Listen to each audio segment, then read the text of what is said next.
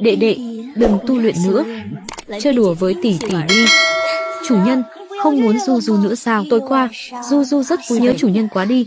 Anh rể ơi, Kỳ Kỳ nhớ anh quá. Ân ái với Kỳ Kỳ đi anh rể. Xin hãy thương xót chúng tôi. Hoàng hoang chi linh, tôn nhân sát mạng, giết không tha. Chảm. Suýt nữa hỏng mất 10 năm tu luyện của tôi rồi. Diệp Phàm.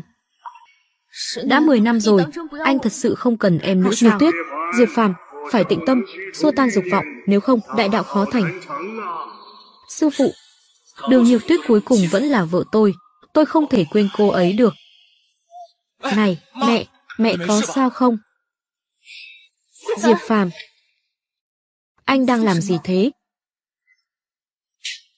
Đồ khốn nạn, tao là mẹ vợ của mày đấy, không phải, con. Không phải như em thấy. Nghe anh giải thích đã, anh chỉ giúp mẹ thôi, Diệp Phàm, em thật sự rất thất vọng về anh. Vậy cậu cứ xuất sơn đi, hãy cắt đứt mối nhân duyên này. Cung tiễn thần tôn xuất sơn. Tu luyện trên núi 10 năm, nhưng ở nhân gian mới chỉ qua một ngày. Cô nương, ta thấy cô vận khí không tốt, có rất nhiều âm hồn đang dõi theo, e là sắp gặp tai họa lớn. Anh nói cái gì thế? Nói ngắn gọn là, tiểu thư, hôm nay cô có điểm xấu lớn lắm đấy. Đồ lưu manh, anh biết tôi là ai không? Còn dám nói sằng bệnh, tôi chỉ nói sự thật thôi. Hôm nay cô không nên ra đường, nhất định sẽ gặp tai họa lớn. Nói bệnh, mau cút khỏi đây ngay bây giờ. Nếu anh còn bám theo tôi nữa, tôi sẽ gọi vệ sĩ tần cho anh một trận đấy. Vương Thiếu, mục tiêu đã xuất hiện, hành động, phải giết chết Tống Hồng Nhan, tập đoàn ngũ hổ sẽ hỗn loạn, đã rõ. Thôi không tính toán với cô, xem như làm việc thiện vậy.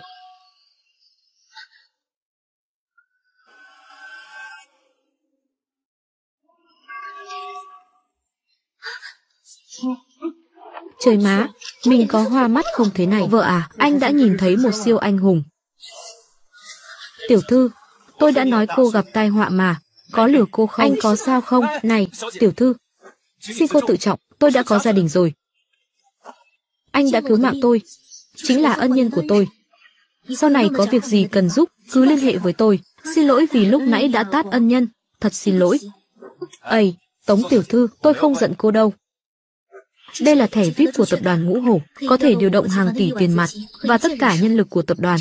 Ân nhân xin hãy nhận một chút lòng thành này, không được, quá quý giá rồi, lẽ nào trong mắt ân nhân, cái thẻ VIP này còn quý giá hơn mạng sống của Hồng Nhan sao? Được rồi, vậy tôi nhận nhé. Đến lúc cắt đứt xong duyên nợ, quay trở về núi. Cái thẻ VIP này cũng thành vô dụng thôi. Tống Hồng Nhan của tập đoàn Ngũ Hổ thật dịu dàng, xinh đẹp phải không? Nhược tuyết,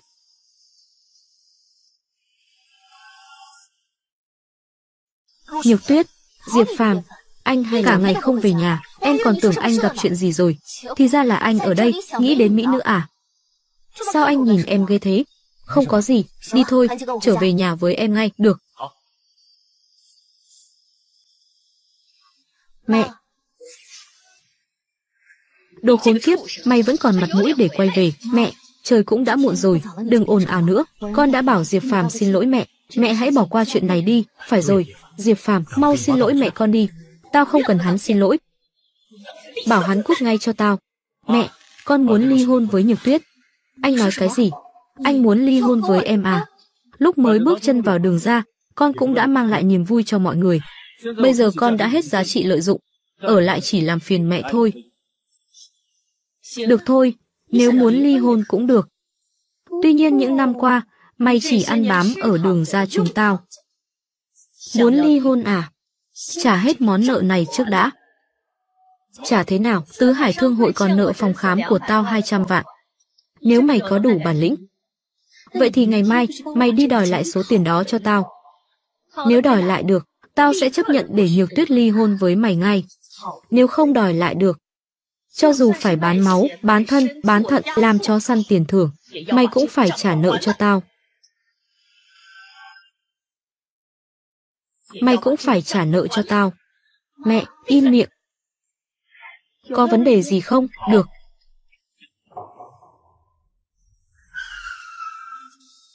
Diệp Phàm, anh đi đâu đấy? Tứ Hải Thương hội. Đừng nghe mẹ em nói, Tứ Hải Thương hội không phải là nơi tốt lành. Bọn chúng có thế lực ngầm ủng hộ. Anh đến đó khác gì trứng trọi đá chứ? Khỏi khuyên anh đi, có nợ phải trả, đó là đạo lý. Anh muốn xem thử, Tứ Hải Thương hội ghê gớm như thế nào? Không được, Diệp Phàm lên xe đi, về nhà với em, em đi làm đi. Sắp trễ giờ rồi, chúng ta không cùng đường. Muốn làm gì thì làm, không đi thì thôi, đi. Cho anh này. Nhiều tiết. Có lẽ sau khi giải quyết xong số tiền nợ này, chúng ta sẽ kết thúc, hãy quên anh đi. Sau khi ly hôn, em còn đưa đồ ăn sáng cho anh nữa không? Thằng nhóc, làm gì đấy? Tôi là người của phòng khám Xuân Phong. Tôi tên Diệp Phàm, tới đây lấy nợ của cô Bạch.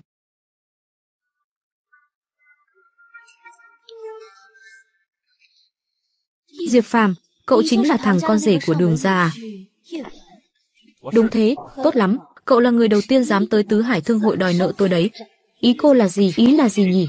Thằng nhóc, mày sắp gặp rắc rối lớn, thằng nhóc hôm nay dám tới tận đây để đòi nợ. Nếu những người khác thấy cậu bình an vô sự rời khỏi đây, vậy sau này tôi còn mặt mũi nào mà đứng trên giang hồ nữa chứ? Cho nên, hôm nay cậu không thể lành lặn rời khỏi đây. Tuy nhiên, tôi cũng là người rất công bằng, không phản kháng, chỉ đánh gãy hai chân của cậu, nếu phản kháng thì đánh gãy thêm hai tay nữa. Không có ý kiến gì chứ, Bạch Tiểu Thư, cô đi quá xa rồi. Trên đời này, kẻ mạnh ăn thịt kẻ yếu mà, làm éo gì có chuyện đúng sai ở đây hả? Sát, vâng,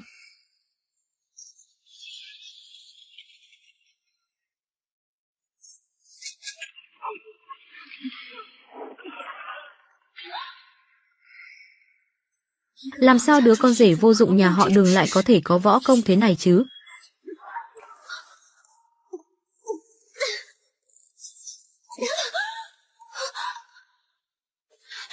Cậu, cậu, tôi là người phụ trách Tứ Hải Thương hội. Nếu cậu dám giết tôi, anh em Tứ Hải sẽ không tha cho cậu đâu. Cậu, Bạch Tiểu Thư, bớt nói những lời vớ vẩn đi, gọi tất cả đám mạnh nhất, tài giỏi nhất của Tứ Hải ra đây, để xem Tứ Hải thương hội các ngươi, rốt cuộc có cái thá gì mà lộng hành. Hãy để tao mở mang tầm mắt. Hãy để tao mở mang tầm mắt, thằng nhóc con, chờ đó. Lão sư không cho phép ta đánh người, nhưng bọn họ là người xấu mà, có thể hí hí. Giết! 500 anh giết thằng nhóc này cho tôi. Sát.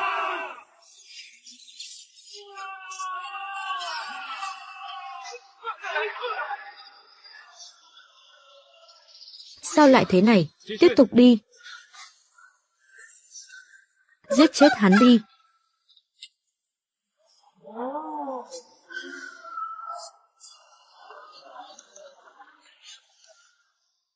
Cái gì hắn có phải là con người không? Ngưng sổ vớ vẩn, tiếp tục đi. Chết hết rồi.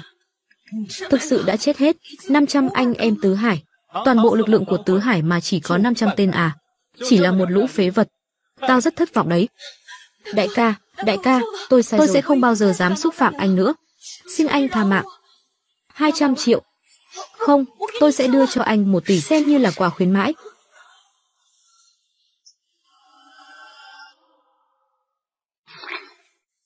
Anh Diệp, trên bàn là tấm séc 1 tỷ và hợp đồng hợp tác giữa Tứ Hải Thương hội và phòng khám Xuân Phong trong 3 năm tới.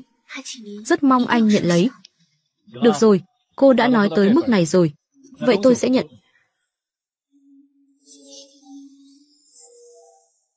Tôi cũng sẽ nói thật với cô một chuyện. Bảo đao quan công kia là vật xấu, sẽ ảnh hưởng đến cô. Tốt nhất nên vứt đi. Được, đa tạ anh Diệp đã nhắc nhở, tôi sẽ vứt nó đi sau. Cái này có thể cứu mạng cô đấy.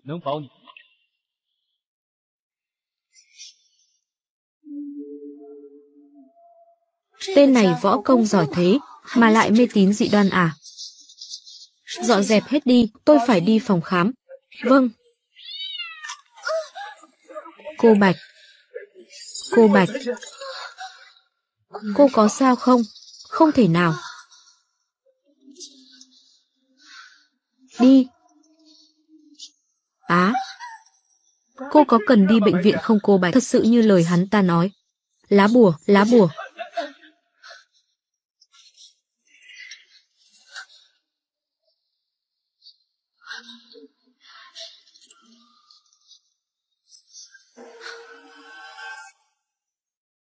Nợ đã đòi lại được rồi. Bây giờ tôi có thể ly hôn với đường nhược tuyết rồi chứ? Đã kiểm tra rồi. Là thật đấy, là thật đấy. Nhược tuyết, ngày mai mang sổ hộ khẩu, đi ly hôn với thằng phế vật này. Ly hôn, ly hôn cái gì? Em chưa nói là đã đồng ý ly hôn với anh, đó là lời mẹ nói, em chưa đồng ý mà. Em muốn làm gì? Hội Vân Đỉnh đã im ắng mấy năm gần đây. Đột nhiên thông báo sẽ tổ chức tiệc Vân Đỉnh sau tháng riêng. Và chọn ra thành viên thứ sáu của Vân Đỉnh. Anh không phải muốn ly hôn sao? Được, nếu anh giúp đường ra trở thành thành viên của hội Vân Đỉnh. Em sẽ đồng ý hội Vân Đỉnh. Là cái gì thế? Hội Vân Đỉnh là giới thượng lưu cao nhất Trung Hải, có 6 thành viên cố định. 6 người này đều là những nhân vật đứng trên đỉnh Trung Hải.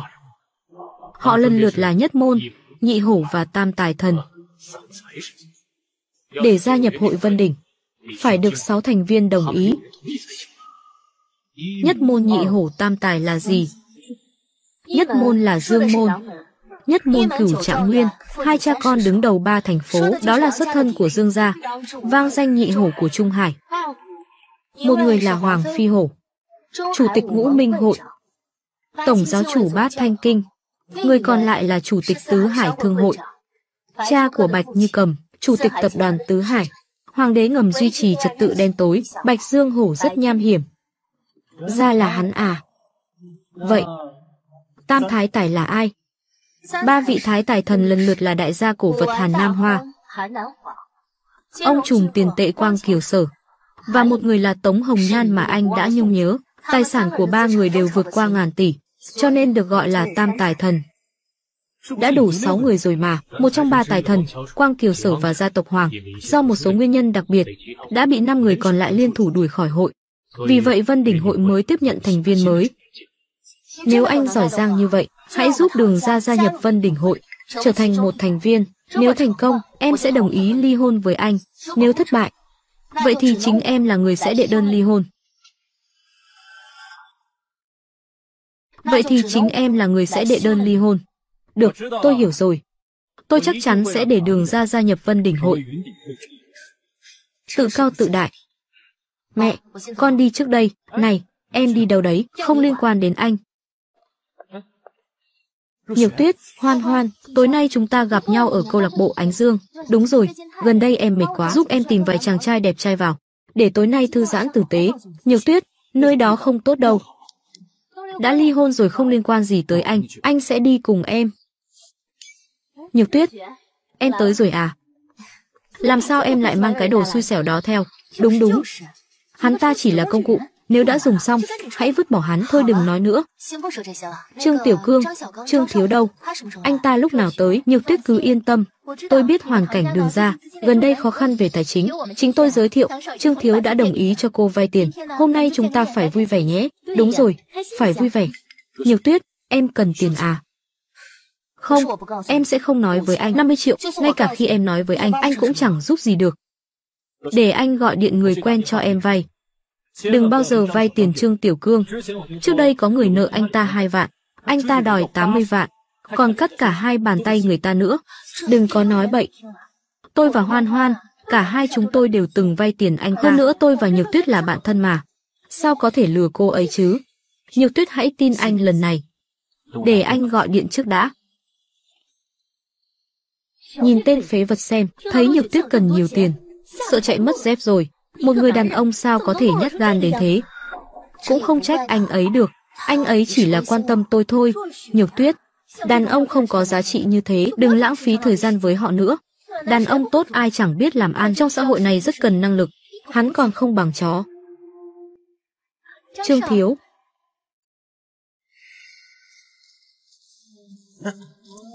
Cô chính là cô gái xinh đẹp muốn vay tiền của tôi à, dáng người không tồi. Trương Thiếu để em mời anh một chén, anh xem, 50 triệu này. Quy tắc của tôi rất đơn giản. Tôi có thể cho mượn tiền. Nhưng trong 3 tháng này, cô sẽ phải làm hầu gái riêng cho tôi. Trên giường, dưới giường, gọi đâu đến đấy. Trên giường, dưới giường, gọi đâu đến đấy. Xin lỗi, tôi không cần vay tiền của anh nữa, không vay. Giỡn mặt à. Trên đời này chưa có ai giỡn mặt với tôi như vậy cả. Cô sẽ không thoát khỏi bàn tay tôi đâu. Nhược tuyết, cứ vay đi. Chỉ là chuyện nam nữ bình thường thôi mà. Phải, phải.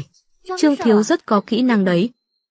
Có thể sẽ đưa cô lên tận 9 tầng mây đấy. Các ngươi. Được rồi. Xin lỗi, tôi còn có việc. Phải đi trước đây, đứng lại. Cô đã làm phí thời gian của tôi mà không hề đáp ứng. Nói không vay là không vay. Cô còn đang giả vờ diễn trò nữa à? Hay là cô thích tôi, thích kiểu bạo lực?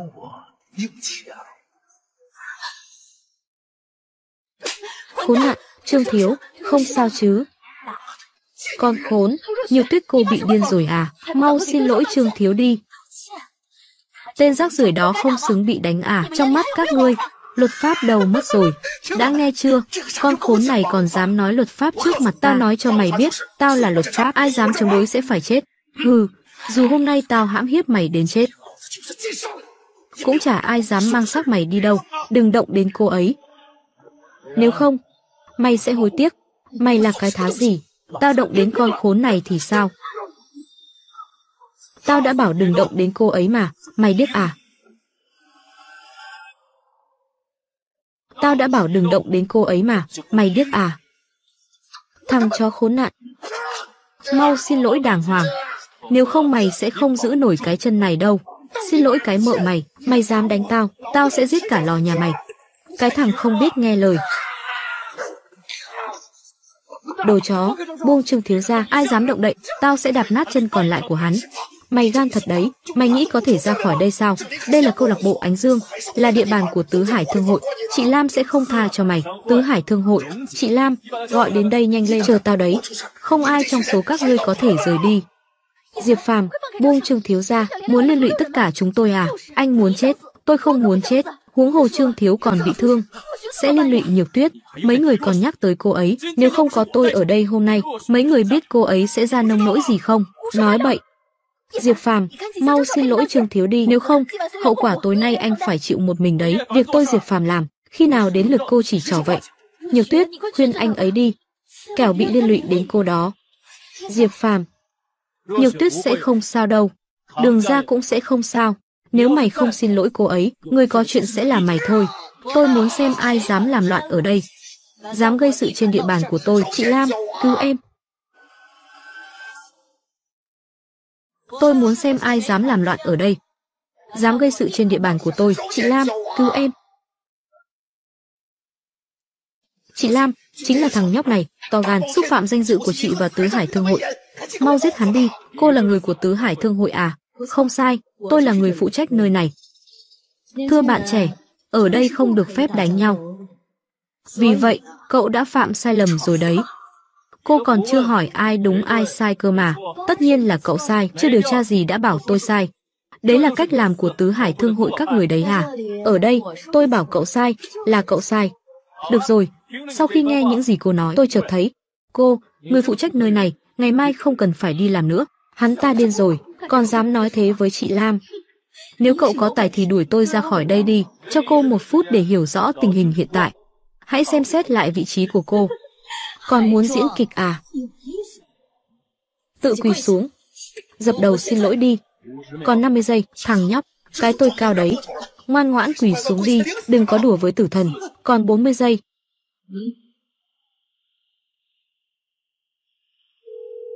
Xin chào, tôi là Bạch Như Cầm.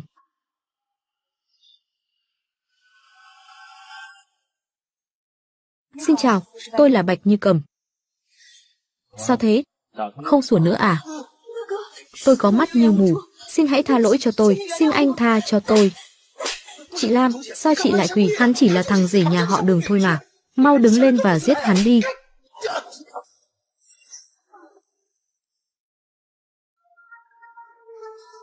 Diệp tiên sinh, Diệp tiên sinh, cuối cùng cũng gặp được anh rồi. Tôi đã phải chịu đựng rất khổ sở. Tìm phòng riêng khám cho tôi đi. Không thể đi được. Không thể đi được ai dám cản anh chứ. Hắn. Tên Trương Tiểu Cương kia. Đánh người. Xúc phạm vợ tôi. Còn nói Tứ Hải Thương hội là chỗ dựa của hắn. Muốn tìm người đối phó tôi. Cô thấy tôi còn đi được không? Mày nói Tứ Hải Thương hội là chỗ dựa của mày à?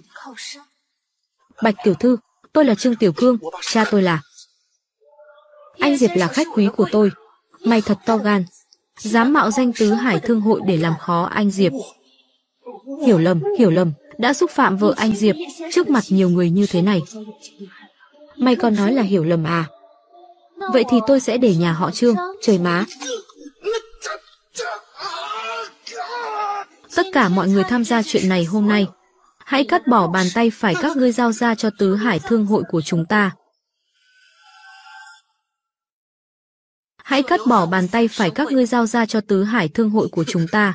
Bạch tiểu thư, bố tôi là Trương Đại Cường, xin hãy nể mặt bố tôi mà tha cho tôi lần này.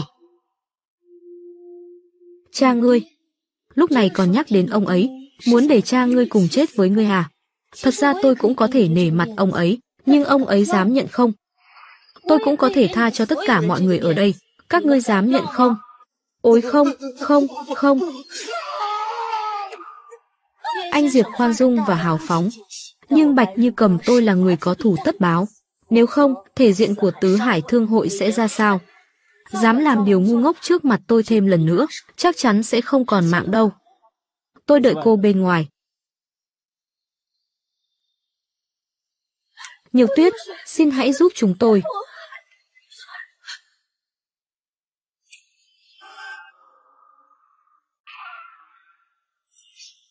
Diệp Phàm, nếu giờ anh không trừng phạt họ thật nặng, họ vẫn sẽ hại em đấy. Diệp Phàm, anh cuối cùng, anh Diệp, cô Đường, tôi còn chuyện riêng muốn nói với anh Diệp.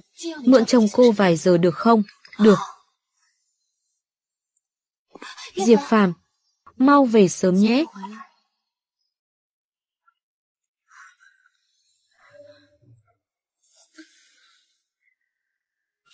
Bạch tiểu thư, sao cô lại? Diệp tiên sinh, xin anh hãy cứu tôi. Âm khí đã phát tán, trước đó cô không nghe lời tôi nói. Tôi có làm. Tôi đã đập nát thanh đao đó rồi. Tôi còn dùng cả bùa hộ thân anh đưa nữa mà. Nhưng rắc rối vẫn tiếp diễn, bùa đã hỏng, bị vấy bẩn, hiệu lực giảm sút. Tôi phải làm sao đây? Trên người cô có một đường chỉ máu. Chỉ máu? Không có đâu. Đường chỉ máu này, mắt thường không nhìn thấy được. Á, cái gì thế này? Đao quỷ hóa hình, chỉ máu là chỉ tử. Nếu chỉ đỏ chạm tới đan điền, đao quỷ sẽ phá tan, bụng của cô sẽ nổ tung, phá hủy tất cả.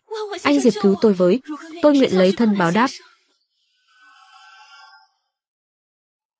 Xin anh cứu tôi, tôi nguyện lấy thân báo đáp. Hôm nay tôi đã đến đây, không thể đứng nhìn cô chết mà không cứu được.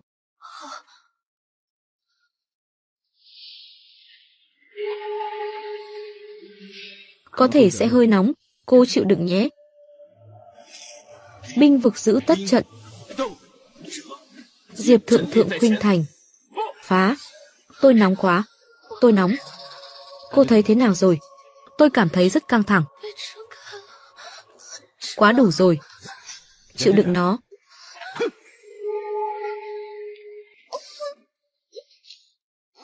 Đừng lo lắng. Đừng nín thở. Nếu không hiệu quả sẽ giảm đi rất nhiều đấy. Anh Diệp, cứu tôi với. Ừm, đao quỷ đã bị tiêu diệt, sau này đừng mời những kẻ hung tàn đó nữa.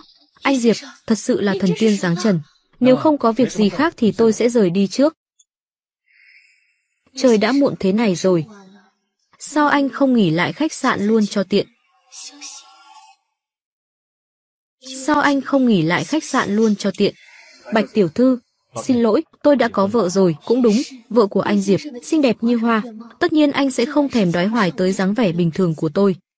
Vậy thì, đây là tấm séc một tỷ, xin anh nhận lấy, từ nay về sau, anh Diệp sẽ là khách quý nhất của Tứ Hải Thương hội chúng tôi. Diệp Phàm, anh còn biết quay về à? Ờ. Có tí chuyện nên về muộn. Anh với cô Tứ Hải Thương hội thì có chuyện gì chứ? Em hỏi anh, sao tối nay cô Bạch lại che chở cho anh? Và còn rất kính trọng anh nữa, chẳng lẽ cũng liên quan tới Tống Hồng Nhan đúng không? Không liên quan gì đến cô ấy cả, sinh tử của cô ta nằm trong tay anh. Không đúng, Bạch Như Cầm không phải tay vừa. Anh còn bảo là nắm sinh mệnh của cô ấy, anh chỉ là một kẻ hèn nhát ở đường ra mà thôi. Đúng rồi, còn thử thách hôm qua nữa, chẳng lẽ cũng liên quan đến Tống Hồng Nhan? Không đúng, đòi nợ là do chính tay anh đòi. Sao anh không chịu nói thật? Nếu suốt ngày anh chỉ dựa vào ân huệ của những người đó, anh có biết sẽ có kết cục rất thê thảm không? em quản anh hơi nhiều rồi đấy nhỉ. Đừng nói như thế, em chỉ hỏi bây giờ em có phải là vợ anh không? Em nói mà anh còn không nghe à? Được rồi, anh nghe đây, vậy sau này anh đừng đi lung tung nữa. Tìm công việc làm chính đáng đi, tránh bị người nhà coi thường, không cần em lo. Diệp Phàm, em xin anh đấy, phải có chút hoài bão chứ, được rồi. Ngày mai anh sẽ đi phụ mẹ bán trà đá. Mẹ ơi! Sao các con lại đến đây? Mẹ không cần phải vất vả như thế, chuyện tiền bạc để con lo. Diệp Phàm nói đúng đấy mẹ à, để con phụ mẹ bán trà, mẹ ngồi nghỉ đi. Hát cầu ca đến kìa. Hát cầu ca đến kìa. Bà già khốn khiếp. Hôm nay bán trà không tồi nhỉ. Tiền bảo kê. Một nghìn đồng, mau. Đừng làm nhảm làm tao khó chịu. Nếu không đưa, tao sẽ đập nát cái quán này. Cái lề gì thốn? Gì hay à? Đây không phải là gì hay sao? Gì cũng bán hàng ở đây à? Còn không mau đưa tiền cho đại ca. Anh Hắc Cầu là lãnh đạo của Tứ Hải Thương hội đấy, còn không chịu đưa tiền. Diệp Hạo, em quá đáng quá rồi đấy. Ôi anh họ, anh đã trở lại thật rồi. Đường ra đã cho anh rất nhiều tiền phải không? Chúng ta là họ hàng. Để tôi ra quyết định thay cho anh cầu. Anh họ. 20 vạn. Cầu ca. Dì sẽ cho tôi chút thể diện. Chúng ta chỉ lấy của hắn 5.000 thôi. Ha ha ha. Cũng được. Cũng hiểu chuyện đấy. 5.000. Cầu ca tôi đi lấy tiền ngay. Mẹ ơi. 5.000 đây. Để tôi đưa. Dô. Giỏi thật đấy, còn có tấm sách nữa à, giàu thật, người có tiền. Làm tốt lắm, anh trai của mày rất tốt.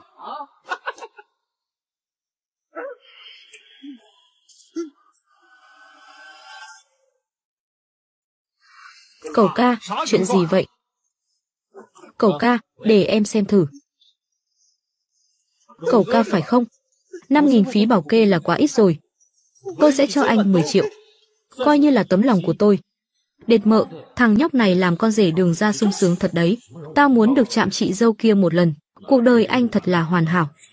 Cầu ca, hay là anh cứ nhận tiền trước đi. Anh là ai? Anh ta tên Diệp Phàm, là con nuôi của dì hai tôi. Anh trai. Không, anh gì em xin lỗi. Xin anh cho em một cơ hội nữa. Cầu ca, sao anh lại đi thu tiền bảo kê thế này? Không, không thu nữa. Không thu nữa, thu đi, không thu không thu. Anh Diệp, lần sau chúng tôi sẽ không thu tiền bảo kê nữa. Tôi sai rồi, tôi thật sự sai rồi, tôi xin lỗi. Tôi xin lỗi, có mắt mà không thấy Thái Sơn. Anh cẩu, anh xin lỗi cái thằng phế vật đó làm gì? Câm mồm. Dám nói với anh Phạm như thế, mau quỳ xuống cho tao. Cẩu ca, hắn chỉ là thằng phế vật. May mắn làm con rể đường ra thôi, hắn chỉ là con nuôi của dì tôi, anh lầm to rồi, anh ấy đã sống cùng tôi hơn 10 năm trời, có phải là thằng phế vật hay không tôi biết rõ nhất. Phế vật. Thư chết tiệt.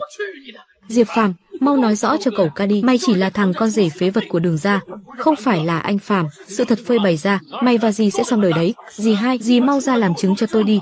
Diệp Phàm không phải là tai to mặt lớn gì cả. Nói nhanh đi, thằng ngốc. Mợ mày muốn giết chết tao à? Cậu ca em biết lỗi rồi. Em không nói nữa, không nói nữa. Quỳ xuống cho tao. Cho tôi cơ hội, tôi không dám nữa. Cho mày cơ hội. Mày có cho bọn họ cơ hội nào không? Mọi người đều cực khổ làm ăn sinh sống. Mày thì đi bòn rút tiền, mày có để họ sống không? Tôi sai rồi, tôi sai rồi. Tôi sẽ không như thế này nữa. Trả lại tiền cho mọi người đi. Còn phải đền bù thiệt hại nữa. Từ giờ trở đi, mày phụ trách an ninh mọi thứ ở đây. Mau dẫn bọn họ cút khỏi đây cho tao. Được, tôi sẽ đi ngay hoan hô Diệp Phàm, vị cứu tinh vĩ đại. Nhìn anh làm gì, anh có cướp chim trên mặt à? Diệp Phàm, em cảm thấy hình như anh đã thay đổi. Vì tất cả chúng ta đều đã không còn như xưa. Mẹ ơi, đến giờ ăn rồi kìa, chúng ta đi ăn cùng nhau đi mẹ. Không, mẹ chỉ là bà lão quê mùa, không làm phiền các con đâu. Được rồi mẹ à, lần sau chúng con lại đến thăm mẹ.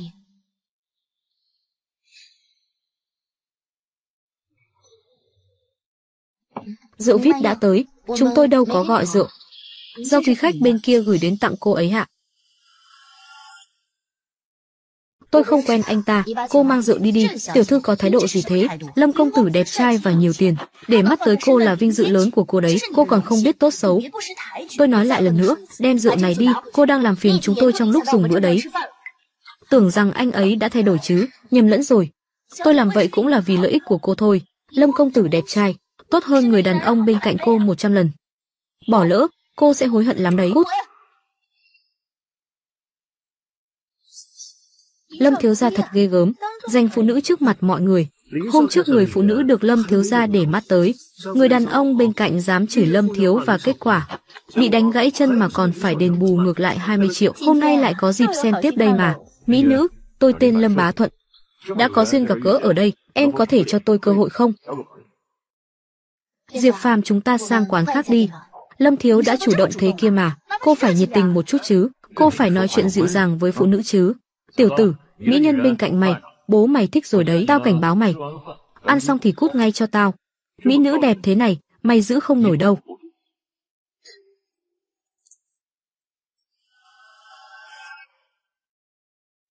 Mày có nghe tao nói không thế, thằng nhóc, mày quả là may mắn, khiến Lâm công tử tôi ghen tị lắm đấy.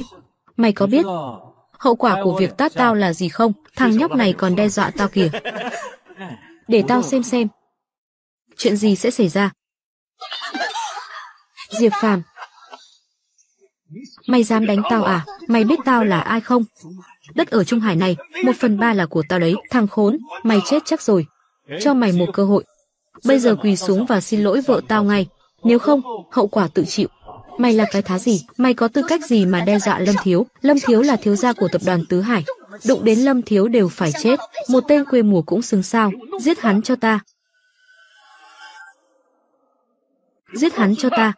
Anh định làm gì? Đừng có lộn xộn. Tôi đã gọi cảnh sát. Cảnh sát. Cảnh sát đều là người nhà của Lâm Thiếu cả mà. Nhược tuyết. Để anh giải quyết. Thằng nhóc, mày không thoát được đâu. Quỳ xuống xin lỗi tao ngay, rồi tự chặt thêm một bàn tay nữa, dâng vợ mày lên giường tao, tao sẽ xem xét tha mạng cho mày. Nói như thế, mày đã từ bỏ cơ hội mà lúc nãy tao đã cho mày. Mày còn chưa đủ tư cách, cái này đủ chưa? Cái thứ gì đây? Lâm Thiếu là thẻ ngân hàng, chắc hắn muốn hối lộ, tao thiếu tiền à? Tao muốn một bàn tay của hắn và người phụ nữ của hắn. Chết rồi, Hôm nay gặp rắc rối lớn rồi, sao thế? Lâm Thiếu không nhận ra à? Không tin thì cứ gọi điện thoại mà hỏi. Người quản lý, hôm nay tôi nhận được thẻ VIP của ngũ hổ. Xin hỏi danh tính của chủ thẻ này là ai? Danh tính của người đó cậu không đủ tư cách biết. Chỉ cần biết rằng anh ta là khách quý của Tứ Hải Thương hội, quý như thế nào, đủ để lấy mạng của cậu.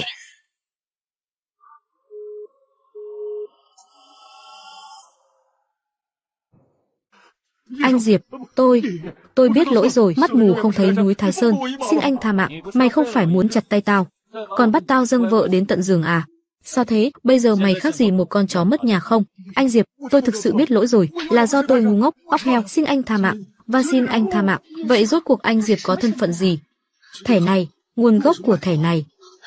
Tôi, vừa rồi tôi không biết anh Diệp nên đã lỡ lời, Chị dâu tôi biết lỗi rồi, xin chị tha thứ, tôi sẽ làm con chó cho chị sai khiến. Diệp Phàm, nhìn xem, hắn ta đã xin lỗi rồi, chúng ta nên. Diệp Phàm, nếu lời xin lỗi thật sự có ích, thì cần gì cảnh sát nữa? Diệp Phàm, anh quá đáng rồi đấy, hắn ta chỉ tán tỉnh thôi mà, cần gì phải thế chứ? Nhược Tuyết, em quá đơn giản, nếu anh không mạnh mẽ, hôm nay anh sẽ bị dẫm đạp như một con chó, em cũng khó thoát khỏi hắn ta. Anh làm thế là để cho hắn cả đời không dám xem thường phụ nữ nữa. Tránh hậu họa về sau. Anh, anh thật sự vô lý. Nhược tuyết, anh làm thế là để bảo vệ em. Cái thẻ kia là của Tống Hồng Nhan phải không? Em đã có nói với anh rồi mà. Sau này hãy tránh xa cô ta. Em lo lắng cho anh à? Em. Em không có. Em chỉ sợ anh làm liên lụy đến đường ra. Vậy thì em ly hôn với anh đi. Sau này sẽ không liên quan gì nữa. Em không. Sự bất công mà em đã chịu bao năm qua, anh chưa bù đắp, anh nợ đường ra cũng chưa trả. Nhược tuyết, em có phải vẫn còn yêu anh không? Đừng nói nhảm, có người bị ngất xỉu. Này!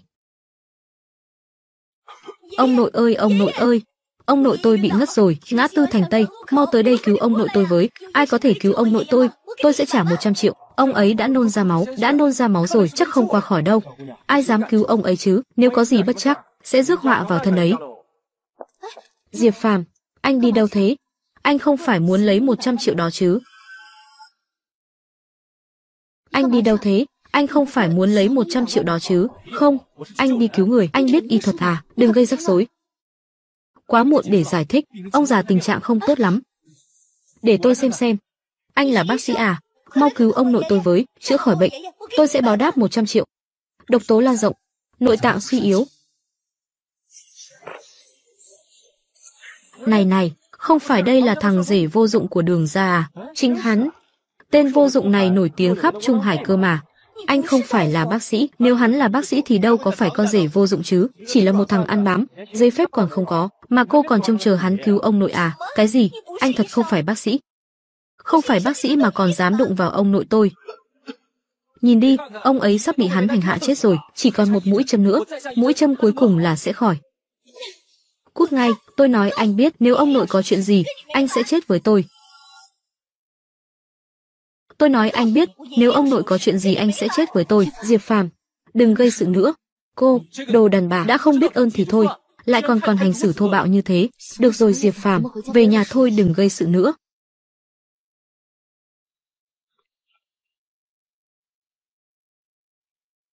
Cảm ơn, cảm ơn các bác sĩ. May là có các bác sĩ ở đây, cô nương, ông nội của cô bị ngộ độc, phải châm thêm một mũi nữa mới trừ hết độc tố.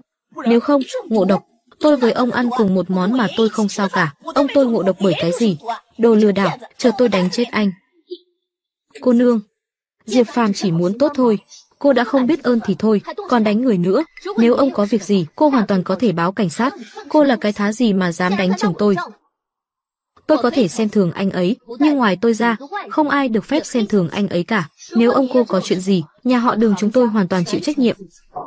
Cùng lắm là hai mạng đền một mạng. Nhược tuyết, các người nên mong ông ấy không sao, nếu không, cả hai người sẽ phải đền mạng cho tôi.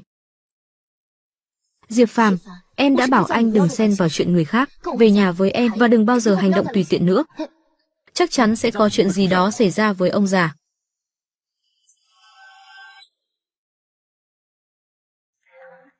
Nhược tuyết, cái đó. Nhược tuyết, sao em vẫn chưa ly hôn với tên vô dụng đó, còn để hắn ta ngủ chung phòng nữa? Chuyện này không được để anh chị biết. Anh ấy sẽ không vui đâu, em và Triệu Đông Dương không có quan hệ gì. Liên quan gì em, không được, ngoài anh trai chị ra, không ai có quyền cả. Nếu một năm trước anh ấy không đột ngột sang nước ngoài. Giờ em đã là em dâu của chị, đâu đến nỗi lọt vào tay tên vô dụng đó. Đúng rồi, anh trai sẽ về trong hai ngày tới, lúc đó, được rồi, không nói chuyện này nữa. Ngày mai em còn họp đi ngủ trước đây. Được, nhớ giữ mình đấy nhé. Không được để Diệp Phàm chiếm tiện nghi. Anh trai sẽ kiểm tra còn Jin. Diệp Phàm, em muốn đặt ra ba điều kiện, được không? Cứ nói đi. Thứ nhất, từ hôm nay anh phải chăm chỉ hơn đấy, Không thể để người khác gọi anh là vô dụng được. Thứ hai, không được cư xử tùy tiện. Thứ ba, em muốn anh tìm một công việc chính đáng. Em không quan tâm tiền lương. Em chỉ mong anh có một công việc đàng hoàng. Tất cả những điều đó anh có thể đồng ý. Nhưng anh có được thưởng gì không? Anh muốn thưởng gì? Anh muốn... Muốn... Ngủ với em. Cút.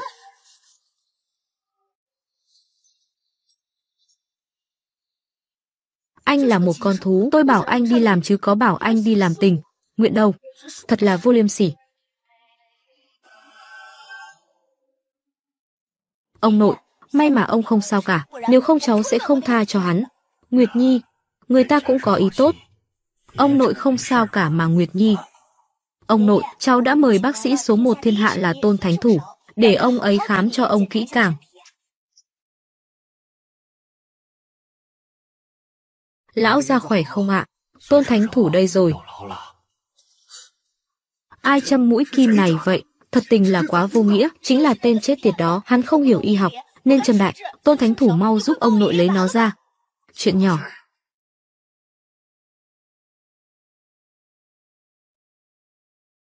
Lão ra thấy thế nào ạ? Không sao cả. Ông nội, mặt của ông.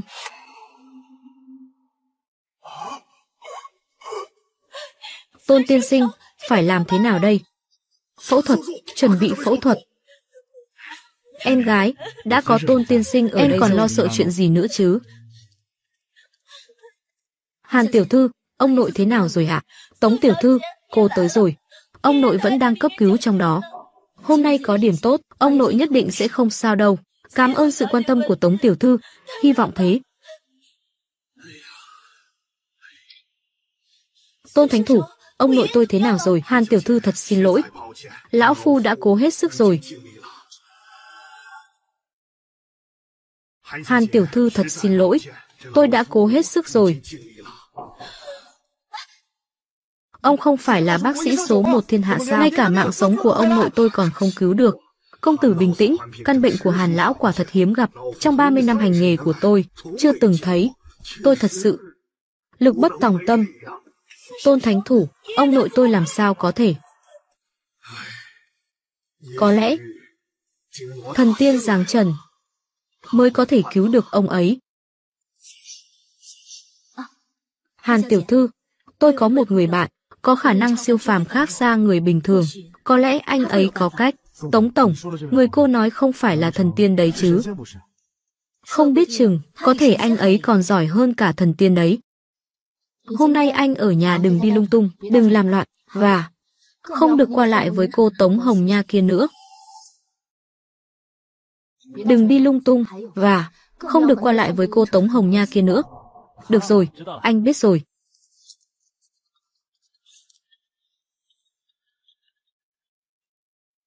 Ân công, anh đang ở đâu đấy? Bây giờ anh rảnh không? Cô Tống, có chuyện gì vậy? Diệp Phàm, đừng gọi tôi là cô Tống, quá xa cách rồi. Gọi tôi là Hồng Nhan đi, được rồi, nhưng cô cũng đừng gọi tôi là ân công nữa. Chỉ gọi tên là được rồi, được, vậy tôi gọi anh là Diệp Phàm hoặc đệ đệ. Chị Nhan tìm tôi có chuyện gì vậy? Chị biết cậu rất lợi hại, muốn nhờ cậu cứu một ông lão. Ờ. Được. Diệp Phàm. Lên xe đi. Được.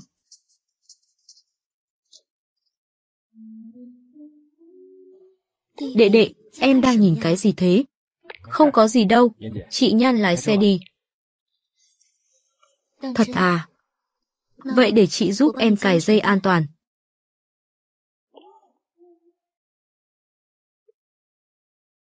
Chị còn tưởng chị đã hết quyến rũ rồi cơ.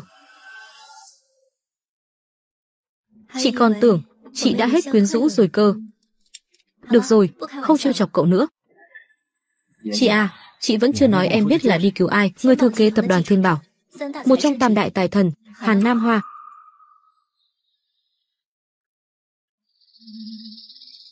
Chết rồi, có lẽ chúng ta đã đến muộn. Chưa chắc, vào trong xem đã. Tên lừa đảo lại đến đây rồi, hôm qua suýt hại chết ông, nay còn dám đến đây à? Không ngờ là cô Hàn tiểu thư, anh ấy chính là người bạn tôi kể đấy. Người đâu? Bắt lấy hắn đem đến đồn cảnh sát. Hắn đã giết ông nội, tôi muốn hắn trả mạng. Tôi còn chưa thấy. Sao biết ông ấy đã chết? Nói bậy, người chết không thể sống lại được. Cậu đang ở đây câu view, quấy rối tang lễ. Hàn tiểu thư, tôi đã chứng kiến bản lĩnh của Diệp Phàm. Hay là để cậu ấy xem thử, quan tài mà ông nội nằm đã đóng nắp.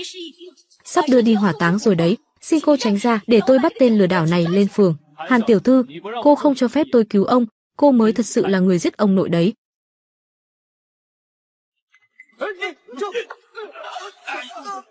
Bắt lấy hắn mau, hôm nay là tang lễ của lão gia.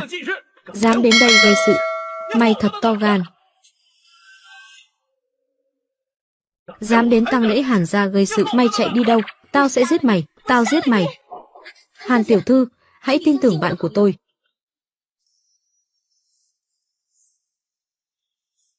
Khí độc còn chưa phát tán hoàn toàn, còn cơ hội. Dám đụng đến thi thể lão gia, may thật đáng chết. Tên khốn nạn kia, tránh xa ông nội tao ra. Đủ rồi, bạn trẻ, cho dù cậu muốn làm gì, bây giờ hãy dừng tay lại đi, lão sẽ bảo toàn tính mạng cho cậu, nếu không đừng hòng bước ra khỏi cửa Hàn ra. Tôi đã nói rồi, ông ấy chưa chết, im miệng. Hàn lão gia đã qua đời, là sự thật không thể bác bỏ. Tôn Thánh Thủ đã mời hơn 10 vị bác sĩ kiểm tra rồi. Bệnh của ông nội tôi đã không còn cách nào cứu chữa, nhưng cậu vẫn cố chấp câu view, không cho ông nội yên nghỉ. cho nên tôi phải giết chết cậu.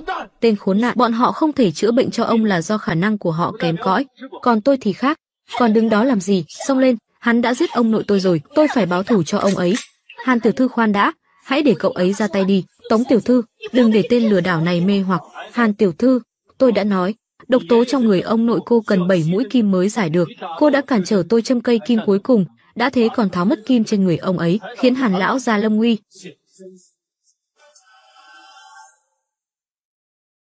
Cô đã cản trở tôi châm cây kim cuối cùng, đã thế còn tháo mất kim trên người ông ấy, khiến Hàn lão ra lâm nguy. Nói bậy, là do mày châm kim lung tung, giết chết ông nội mày chính là hung thủ. Cô Hàn, vì cô không tin khả năng của tôi, vậy chúng ta sẽ cá cược, nếu hôm nay tôi không cứu được ông ấy, cô muốn giết tôi hay thế nào cũng được, còn nếu tôi thắng, cô không còn là tiểu thư của Hàn gia nữa, cô sẽ là hầu gái phục vụ riêng Diệp Phàm tôi, cô có dám cá không? Ngông cuồng, tiểu thư đừng nghe hắn sủa bậy, giết hắn là xong không? Hắn ta đã nói thế, tôi muốn hắn chết một cách tâm phục khẩu phục. Các người mở to mắt ra mà xem đây. Cái này là điều khiển kim bằng khí công. Tôn Thánh Thủ, ông nói gì? Đừng nói chuyện. Kim thất tinh tụ mệnh. Kim thất tinh tụ mệnh là có thật. Người tôi muốn bảo vệ. Ngay cả Diêm Vương cũng không thể động vào. Khai sử. Phá. Tăng cường. Thế nào rồi, ông nội vẫn chưa tỉnh, Hàn Tổng, lão gia vẫn chưa tỉnh, hắn đang lừa gạt. Người đâu, lấy súng bắn hắn, gấp gáp cái gì? Ba. Hai. Ba. Hai. Người đâu, giết hắn. Khụ khụ.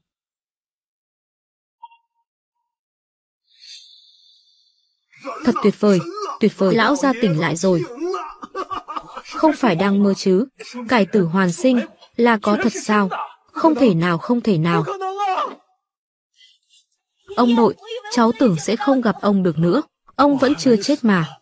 Ông nội, chính anh ấy cứu ông đấy. Diệp tiên sinh thật sự là thần y. Diệu thuật hồi sinh, lão thật sự không phục Diệp tiên sinh, phục sát đất luôn rồi. Diệp thần y, cậu đã cứu mạng của lão. Lão thật sự không biết đền đáp thế nào. Lão xin tặng cậu một nửa tài sản của Hàn gia để đền ơn cứu mạng của cậu. Thế nào? Ông nội, sao lại như thế được? Sao nào, mạng của ông không đáng giá như thế à? Đáng. Hàn lão gia, tôi không cần gia tài của ông, tôi chỉ có một điều kiện. Cậu cứ nói, tôi đều sẽ đồng ý. Cô hàng có nhớ về vụ cá cược lúc nãy không? Đến lúc gọi tôi là chủ nhân rồi, tôi không biết anh đang nói gì. Sao thế? Định bùng kèo à? Anh đi với tôi.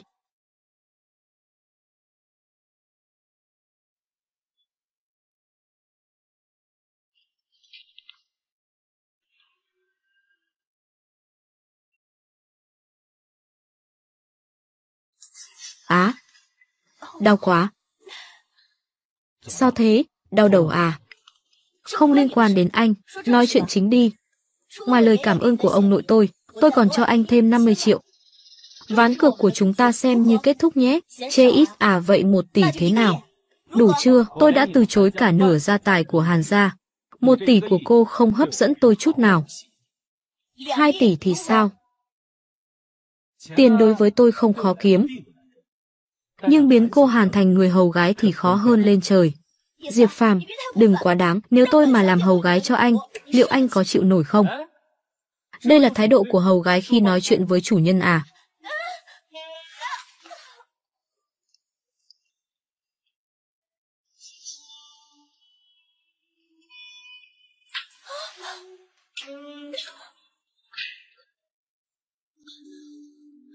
Đồ khốn nạn! Mau thả ta ra! Đồ khốn nạn! Mau thả ta ra! Tốt nhất, hãy thực hiện lời hứa làm hầu gái của cô đi. Nếu không bệnh của ông sẽ tái phát đấy. Tao sẽ giết cả nhà mày, mày sẽ bị xét đánh đấy. Nhớ cho kỹ, đây là hình phạt vì cô dám hỗn xược với chủ nhân. Đồ khốn, đồ khốn nạn, chửi cái gì, còn muốn bị tét vào mông nữa à? Mày cứ đợi đấy. Tao chém chết mày. Bây giờ cô tức giận cái gì? đầu cô có còn đau không? Thật sự không đau đầu nữa. Những cái tét vào mông vừa rồi, không phải tôi cố ý hành hạ cô đâu, mà là để giúp đã thông kinh mạch, giảm căng thẳng thần kinh. Cô sẽ không bị đau đầu khi tức giận nữa, còn vết thương hồi nhỏ của cô nằm ở chân. Nếu cô ngoan ngoãn, tôi sẽ chữa luôn. Sao anh biết? Cho cô ba ngày để chuẩn bị, tắm rửa thơm tho sức nước hoa vào. Ba ngày sau, tôi sẽ làm thịt cô đấy. Nói gì làm đấy, cho cô lên 9 tầng mây luôn. Anh có thể tết vào mông tôi thêm vài cái nữa không? Anh có thể tét vào mông tôi thêm vài cái nữa không? Chủ nhân em muốn. Xin chủ nhân đấy.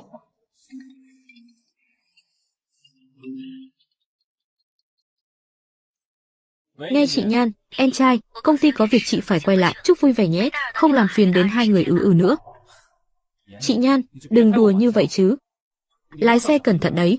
Lần trước không phải là tai nạn đâu, có người nhắm vào chị đấy, chị nhớ cẩn thận. Em trai hư đốn đang quan tâm chị à? Yên tâm đi, chị đã mời cô em họ là Triệu Như Sương tới rồi, cô ấy là cao thủ số một, có cô ấy bảo vệ, không ai dám đụng vào chị tại Trung Hải đâu. Á, à? alo, chị Nhan, sao thế? Đã xảy ra chuyện gì? Chết rồi, chắc chắn có chuyện rồi. Này, anh vẫn chưa tết vào mông tôi cơ à?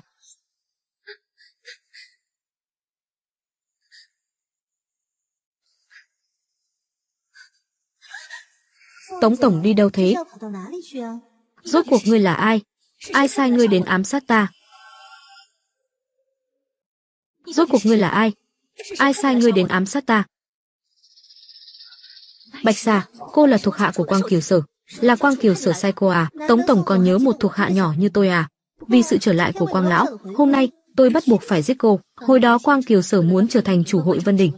Đã âm mưu hại chết Dương Lão gia, nên mới bị trục xuất khỏi Trung Hải. Không ngờ, hắn còn dám quay lại. Quang lão gia đã được Long Châu Thế gia ủng hộ, sắp trở lại Trung Hải, trở thành chủ hội Vân Đỉnh, trở thành vua của Trung Hải. Nằm mơ, chỉ cần năm gia tộc chúng tôi còn tồn tại, hắn không thể thành công, vậy thì cô chết đi. Mày là ai? Dám xía vô chuyện người khác, muốn chết à? Cái gì? Diệp Phàm. Chị Nhan không sao chứ? Ừm. Bọn bay đâu? Giết hắn. Chị Nhan, mượn cây châm của chị một lúc.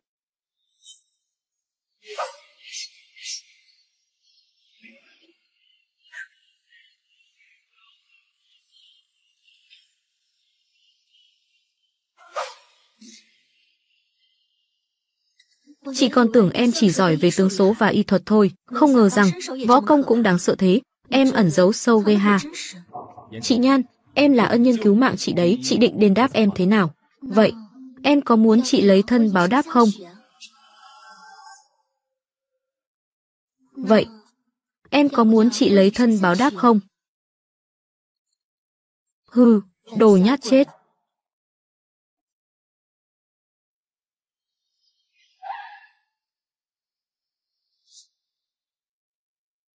Tẩu. Hồng Nhan, em có sao không? Cuối cùng đã xảy ra chuyện gì? Chị, em không sao. Một lũ sát thủ mai phục tại đây để giết em. May có Diệp Phàm. Diệp Phàm, hắn ta cứu em, không sai. Bắt hắn ngay. Dám chống đối, giết không tha. Chị, chị làm cái gì thế? Hắn chỉ là người bình thường. Làm sao có thể giết hết lũ sát thủ? Chị thấy hắn cùng bọn chúng là một bọn. Thằng nhóc, dùng mấy mạng người chỉ để tiếp cận Hồng Nhan. Có thể lừa được người khác, nhưng lừa không được tao đâu. Chứng cứ đâu, không cần chứng cứ. Dù may thật sự cứu Tống Hồng Nhan trong lúc nguy hiểm, Tình hình cấp bách, thà giết lầm một nghìn thằng còn hơn bỏ sót một tên. Thà giết lầm một nghìn thằng còn hơn bỏ sót một tên. Tỷ tỷ, đừng manh động. Diệp Phàm, cậu ta cứu câm mồm. Dù em là tiểu thư Tống gia, nhưng chị là chị họ của em, chị có trách nhiệm giúp em phân biệt người tốt người xấu. Cô chắc chắn muốn gây sự với tôi à? Thằng nhóc này, mày tưởng mày là ai? Mày rốt cuộc là ai? Mày, mày rốt cuộc là ai?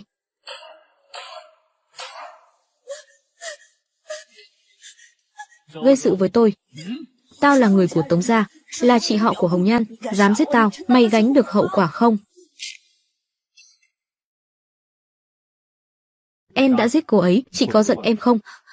Mười chị em họ cũng không sánh bằng giá trị của em trong trái tim chị. Mười chị em họ cũng không sánh bằng giá trị của em trong trái tim chị. Thật ra em không giết nhầm đâu, nhìn cổ tay chúng đi.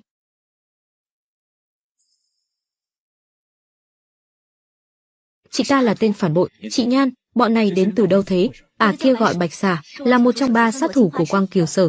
Năm đó hắn cướp của giết người, phát triển cái thế lực ngầm, mưu đồ chiếm đoạt vị trí hội trưởng Vân Đình Hội. Khoảng thời gian đó rất nhiều người bị giết. Tình hình hỗn loạn, cuối cùng bị năm gia tộc liên minh trục xuất hắn khỏi Trung Hải. Không ngờ bây giờ hắn đã quay lại, tên gọi là Quang Kiều Sở kia, sao lại muốn làm hội trưởng Vân Đình? Vân Đình Hội là đỉnh cao nhất của Trung Hải. Trở thành hội trưởng Vân Đình Hội, tức là đứng đầu Trung Hải. Không ai cưỡng lại được sự cám dỗ đó, không được, chị phải quay lại thương lượng đối sách với Hàn gia. Vừa hay bệnh của cô Hàn chưa khỏi, chị chờ em đi cùng nhé, được.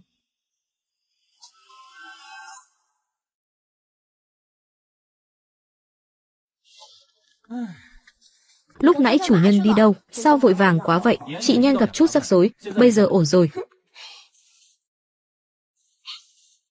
Thế chủ nhân tiếp tục chữa trị cho em đi. Hôm qua cô ăn hải sản à, sao chủ nhân biết? Hôm qua em đi ăn hải sản với ông nội. Nó có liên quan gì tới vết thương của em không? Lần trước cô bị thương ở chân đã bị nhiễm trùng. Mặc dù đã chữa trị nhưng chưa triệt để, một số tĩnh mạch bị viêm. Cho nên khi cô gặp lạnh hoặc ăn hải sản, triệu chứng sẽ nặng hơn, không chữa kịp thời. Trong vòng 3 tháng nữa, chân của cô sẽ không giữ được. Thế chủ nhân mau chữa cho em, em mà mất chân, thà chết còn hơn. Gì đấy, cô làm gì thế? Lần trước chủ nhân cũng chữa cách này mà. Em đã chuẩn bị sẵn tư thế rồi đấy. Em đã chuẩn bị sẵn tư thế rồi còn gì. Lần trước là đã thông kinh mạch, giảm đau đầu. Hôm nay chữa vết thương ở chân, phải triệt tiêu viêm nhiễm, đẩy độc tố ra ngoài, dùng kim châm cứu.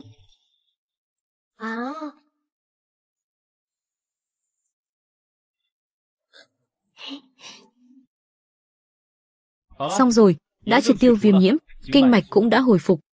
Cô uống thuốc theo đơn này, liên tục nửa tháng. Sẽ hoàn toàn khỏi.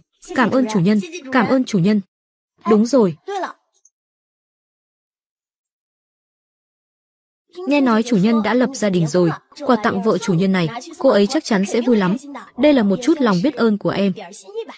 Vậy, tôi không khách sáo nữa.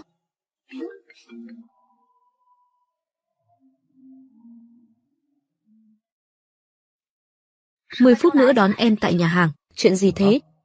Triệu Đông Dương đã về rồi, hắn làm em phát điên mất, mau đến đi. Sao thế? Bà xã chủ nhân gọi điện kiểm tra à? Đúng thế, tôi phải đi rồi. Đợi đã. Porsche phiên bản giới hạn 12 tỷ vừa nhập khẩu tuần trước, mang về rước vợ đi. Đúng rồi. Vứt cái kiếm của cô đi.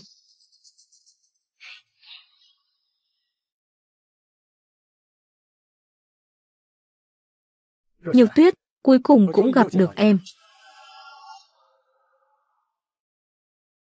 Nhiều tuyết, cuối cùng cũng gặp được em. Nhiều tuyết, em thật hạnh phúc. Anh vừa về đã đến gặp em ngay, còn mang theo nhiều hoa như thế này. Triệu Đông Dương, tôi đã nói rồi, tôi đã có chồng. Sau này đừng tìm tôi nữa, anh không chê em đã có chồng đâu. Tình cảm của anh là thật lòng. Nhiều tuyết, em thật hạnh phúc. Kiếp trước em chắc đã giải cứu thế giới. Nhiều tuyết, Cưới anh đi, nếu em không đồng ý, hôm nay anh sẽ không đứng dậy. Đồng ý, đồng cưới anh ta đi, cưới anh ta đi. Các người đang làm gì thế? Không thấy anh trai tôi đang cầu hôn Nhược Tuyết à? Diệp Phàm, yêu một người không phải là chiếm hữu phải cho họ hạnh phúc cả đời. Nếu anh muốn Nhược Tuyết được hạnh phúc, hãy cùng chúng tôi hô to, Nhược Tuyết đồng ý nhận lời đi.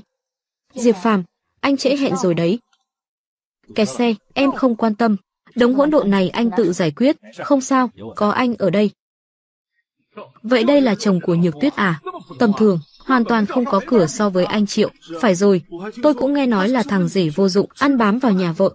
Không biết đầu óc đường Nhược Tuyết nghĩ gì. Lại đi lấy thằng vô dụng Diệp Phàm. Tôi biết rồi. 10 triệu.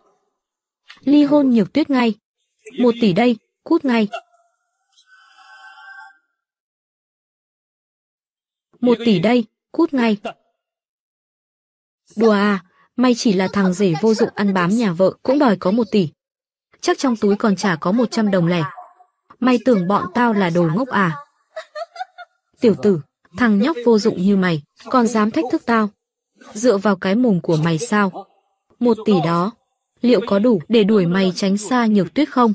Tiểu tử, mày thật sự muốn chơi với tao à, cho dù mày có lấy tiền hay không? Nếu còn tiếp tục quấy rối nhược tuyết, tao sẽ không tha cho mày. Mày có biết tao là ai không, còn dám giành nhược tuyết với tao? Tao là triệu tổng của tập đoàn Đông Dương. Nhà tao có trên 300 tỷ, tôi mới là chồng của nhược tuyết. Tao là triệu tổng của Đông Dương tập đoàn. Kinh doanh mọi lĩnh vực trên toàn cầu. Tôi mới là chồng của nhược tuyết. Cho dù nhược tuyết bây giờ là vợ mày, tao cũng có thể cướp được cô ấy từ tay mày. Nhược tuyết, đây là kim cương trị giá hàng chục tỷ, làm từ những viên kim cương tốt nhất Nam Phi, tượng trưng cho tình yêu vững chắc của chúng ta. Nhược tuyết, cho anh một cơ hội. Đồ chó đẻ, ai cho phép mày chạm vào, thứ hàng chục tỷ mà mày cũng dám chạm tay vào, kim cương cái rắm, là hột xoàn mà. Đúng là dân quê mà. Đây là loại kim cương cứng nhất thế giới đấy. Cứng. Cứng ở chỗ nào? Trời má. Cứng nhất. Cứng chỗ nào? Trời má. Viên kim cương của cậu này kém cả hồ xoàn. Chắc chắn là hàng nhái. Cái thứ này mà cũng hết giá hàng chục tỷ. Cậu Triệu, não cậu bị nước vào úng rồi sao? Hay cậu cho rằng chúng tôi là kẻ ngốc? Đồ chó làm hỏng kim cương của anh tao. Phải đền, cô Triệu. Anh trai cô đã bị lừa mua hàng giả đấy. Cô nên tìm người bán đòi lại. Hơn nữa, cái mà tôi có thể bóp nát bằng ngón tay. Mà cũng dám gọi là kim cương à? Mày! Triệu Đông Dương, tôi nhắc lại lần cuối cùng. Sau này tránh xa vợ tôi ra. Nếu không, đừng trách tôi không khách khí, vợ mày. Một thằng vô dụng như mày có tư cách gì làm chồng cô ấy? Cho dù viên kim cương này là giả, thì nó cũng đáng giá hơn 10 triệu, mua bằng tiền thật đấy. Mày có thể mua quà hơn 10 triệu tặng cho Nhược Tuyết không? Mặc dù mồm luôn nói Nhược Tuyết là vợ mày. Nhưng mày có tặng cô ấy cái gì đâu, chắc là không có tiền phải không? Tôi và Diệp Phàm không cần những thứ đó. Diệp Phàm, về nhà thôi. Nhược Tuyết, trước đây anh thực sự chưa tặng quà cho em, nhưng bây giờ anh có một món quà nhỏ, mở quà ra xem nào. Không biết chừng trong hộp lại chứa đất với cát thì chết sở hoặc là rác rưởi. Diệp Phàm, đừng để ý bọn họ, về nhà thôi, mày thật sự đã chuẩn bị món quà cơ đấy. Tiếc là với địa vị của mày, đồ mày tặng chắc chắn chỉ là rác rưởi.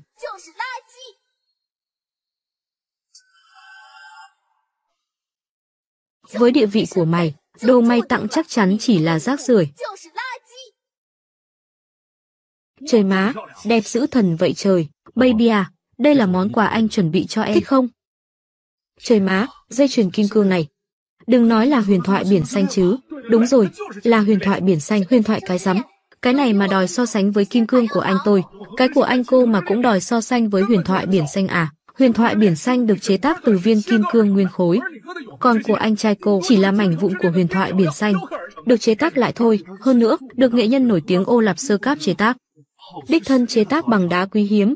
Ba năm trước, tại hội trợ trang sức, đã có người ra giá tới 100 tỷ cho nó. 100 tỷ thì làm sao? Với triệu gia, 100 tỷ chỉ là hạt cát trên sa mạc. Còn với mày, chắc là toàn bộ gia tài rồi nhỉ? Anh à, biết đâu thứ đó không phải của hắn, hắn ta thì có cái nịt thôi. Chiếc xe đậu trước cửa hàng của ai thế? Phiền rời xe giúp tôi, xin lỗi nhé. Phải chiếc Ferrari 500 triệu của anh trai tôi không? Anh, đi rời xe đi. Không phải Ferrari, mà là xe Porsche 12 tỷ. Xin lỗi nhé. Tôi rời đi ngay.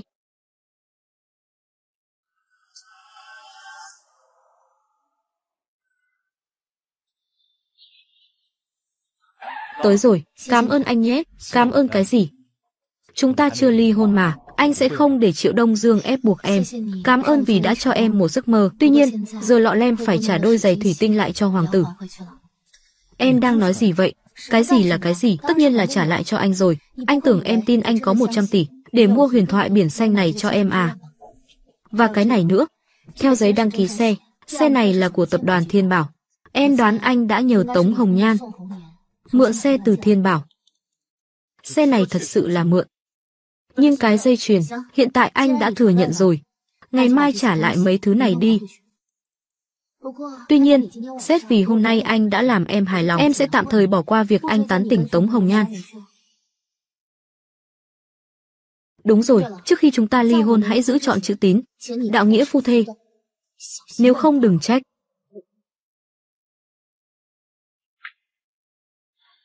Nhược tuyết, tại sao em không tin anh chứ? Nếu như thật sự theo lời các người nói, có lẽ đằng sau lô hàng bị cướp của võ mông, cũng có bóng dáng của Quang Kiều Sở. Đêm nay, kẻ đứng sau vụ cướp mời tôi thương lượng. E rằng như thế chắc chắn không phải tốt lành gì. Hàn Nguyệt, tôi đến trả chìa khóa. Chào cậu Diệp. Ông Hoàng, cho phép tôi giới thiệu một người. Đây là anh Diệp, y thuật siêu phàm. Nếu ông có thể mời anh ấy cùng tham dự buổi thương lượng, chắc chắn sẽ an toàn hơn rất nhiều. Nói thật, tôi không dám giấu giếm gì, tôi có thể đứng đây nói chuyện với ông. Là nhờ anh Diệp cả đấy, ông Hoàng, ông là minh chủ võ mông, ở Trung Hải mà, Hoàng Phi Hổ. Đúng thế. Không biết Diệp thần y tối nay có rảnh không? Tôi muốn mời cậu đi cùng tôi thương lượng một chút. Tất nhiên tôi sẽ không để ai làm hại cậu đâu. Dù đến lúc đó có cần đến y thuật của cậu hay không tôi cũng sẽ trả công xứng đáng cho cậu Diệp. Đường ra muốn gia nhập Vân Đỉnh hội, cần phải có sự trợ giúp của các thành viên trong hội. Ông Hoàng đã khách khí rồi, tôi vừa hay rảnh tối nay, vậy tôi sẽ đi theo ông Hoàng để mở mang tầm mắt. Vậy tôi sẽ đi theo ông Hoàng để mở mang tầm mắt. Được. Mời.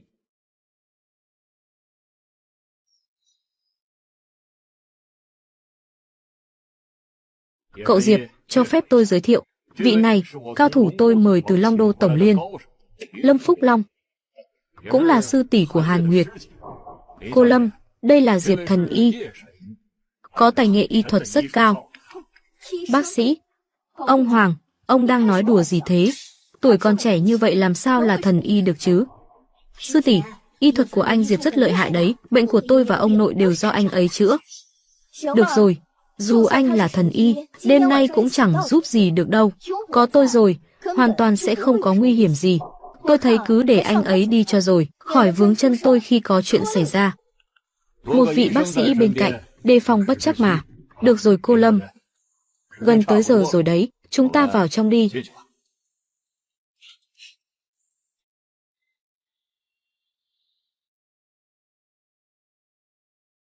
Ông Hoàng, lâu rồi không gặp. Ông Hoàng, lâu rồi không gặp, hắc xà. Ra là con hắc xà, thuộc hạ của Quang Kiều sở kia. Tôi tự hỏi ai dám cướp hàng của chúng tôi, và còn dám đến Trung Hải thương lượng. Ông Hoàng, không vòng vo nữa. Lô hàng của võ mông các người đã bị tôi cướp. Chúng tôi đã kiểm soát được đường vận chuyển, giết người của tôi và kiểm soát nửa tuyến đường của tôi. Quang Kiều sở muốn làm gì? Muốn báo thù hay là tống tiền? Ông Hoàng, thiên hạ không có kẻ thù vĩnh viễn, chỉ có lợi ích vĩnh cửu. Tôi đến đây lần này, để mang lợi ích tới cho ông Hoàng thay quang lão.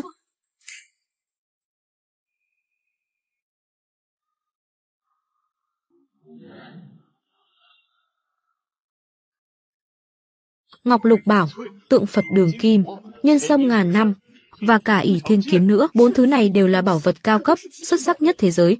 Giá trị có thể vượt 10 tỷ đấy. Các người quả thật đã bỏ công sức nhiều nhỉ. Quang lão biết ông rất thích cổ vật. Tất cả đều dành cho ông đấy. Tưởng gì ghê gớm lắm chứ. Mới nghe đến danh tiếng của ông Hoàng. Đã hoảng sợ đến xin lỗi và đền bù rồi, nhát gan như chó. Được rồi, đừng phí lời. Nói ý định của ngươi đi. Được rồi, đừng phí lời. Nói ý định của ngươi đi. Quang lão sẽ sớm quay trở lại Trung Hải. Hy vọng ông Hoàng có thể, trong hội Vân Đỉnh tháng tới, giúp Quang Lão trở thành chủ hội Vân Đỉnh. Ban đầu tôi còn nghi ngờ cô Tống bị tấn công chỉ là sự cố, không ngờ thật sự là thế. Hóa ra Quang Kiều Sở đã quay lại, năm năm trước hắn ta gây ra cơn thịnh nộ, giết người cướp của. Năm gia tộc phải liên thủ mới trục xuất được hắn khỏi Trung Hải. Hắn nghĩ chúng ta sẽ mời chó sói vào nhà lần nữa sao? Ngươi hãy quay lại nói với hắn, chỉ cần năm gia tộc chúng ta còn tồn tại, hắn, Quang Kiều Sở, sẽ không bao giờ có thể trở thành chủ hội Vân Đỉnh. Ông Hoàng, không cần nói nữa, tôi sẽ không thay đổi quyết định đâu. Ông Hoàng, Dù đàm phán lần này không thành, kính xin ông nhận lấy bốn món quà này. Được rồi, coi như đền bù cho việc đánh cắp những mặt hàng của tôi. Tôi sẽ nhận lấy bốn thứ này. Đem đi, khoan đã, hàng này không thể nhận được. Tại sao những món quà, sao lại không thể nhận? Anh là bác sĩ hiểu cái gì chứ, đừng gây rối nữa được không?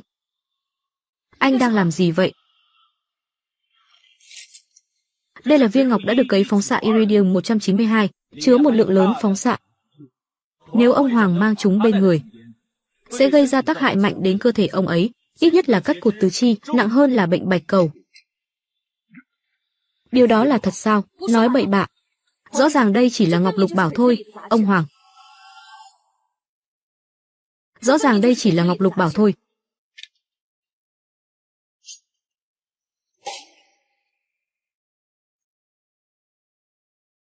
Vậy cô giải thích thế nào về cái máy nghe trộm này? Và cả nhân sâm ngàn năm của cô nữa. Lẽ nào nhân sâm này cũng bị đầu độc? Đúng. Nhân sâm này đã bị nhuộm đầy ngũ linh chi. Xà bì và các loại thuốc khác, mỗi loại thuốc đều vô hại, nhưng khi kết hợp lại, các loại thuốc tương khắc gây tổn thương đến nội tạng, với cơ thể của ông Hoàng thì hoàn toàn không thể chịu đựng nổi. Vậy còn thanh ỷ thiên kiếm này có vấn đề gì? Bản thân thanh kiếm này không có gì đáng ngại. Nhưng sau khi nhuốm máu của rất nhiều người, oán khí ngút trời rất nhiều âm hồn, nếu ông Hoàng mang thanh kiếm này về nhà, ông ấy và gia đình sẽ chịu ảnh hưởng từ những oán khí đó. Bốn món quà này ông Hoàng còn muốn nhận không? Sau nửa năm, tai họa sẽ ập đến với người nhận nó. Hắc xà, cô thật to gan. Rượu mời không uống, muốn uống rượu phạt, giết chúng đi. Rượu mời không uống, muốn uống rượu phạt, người đâu, giết chúng đi. Bảo vệ ông Hoàng. Tôi đã gọi thêm người rồi, nhưng cần nửa giờ họ mới tới, nhưng những vệ sĩ này chắc khó mà chống đỡ được lâu. Tôi có thể giúp, tránh ra đi, bác sĩ thì giúp cái gì được. Diệp Phàm võ công rất lợi hại, tỷ cứ yên tâm, có anh ấy bên cạnh, tỷ lệ thắng của chúng ta lên đến 100% đấy. 10% đối với tôi chỉ có 10% thôi. Cẩn thận đấy, hắc xà này không đơn giản đâu. Nói như vậy, tôi là người đơn giản à? Nếu không phải lo cho sự an toàn của ông Hoàng và Hàn Tiểu Thư, tôi đã quét sạch bọn chúng từ lâu rồi. Tôi biết cô giỏi đấy, nhưng thôi được rồi. Anh là bác sĩ thì biết cái gì chứ? Tôi lợi hại thế nào?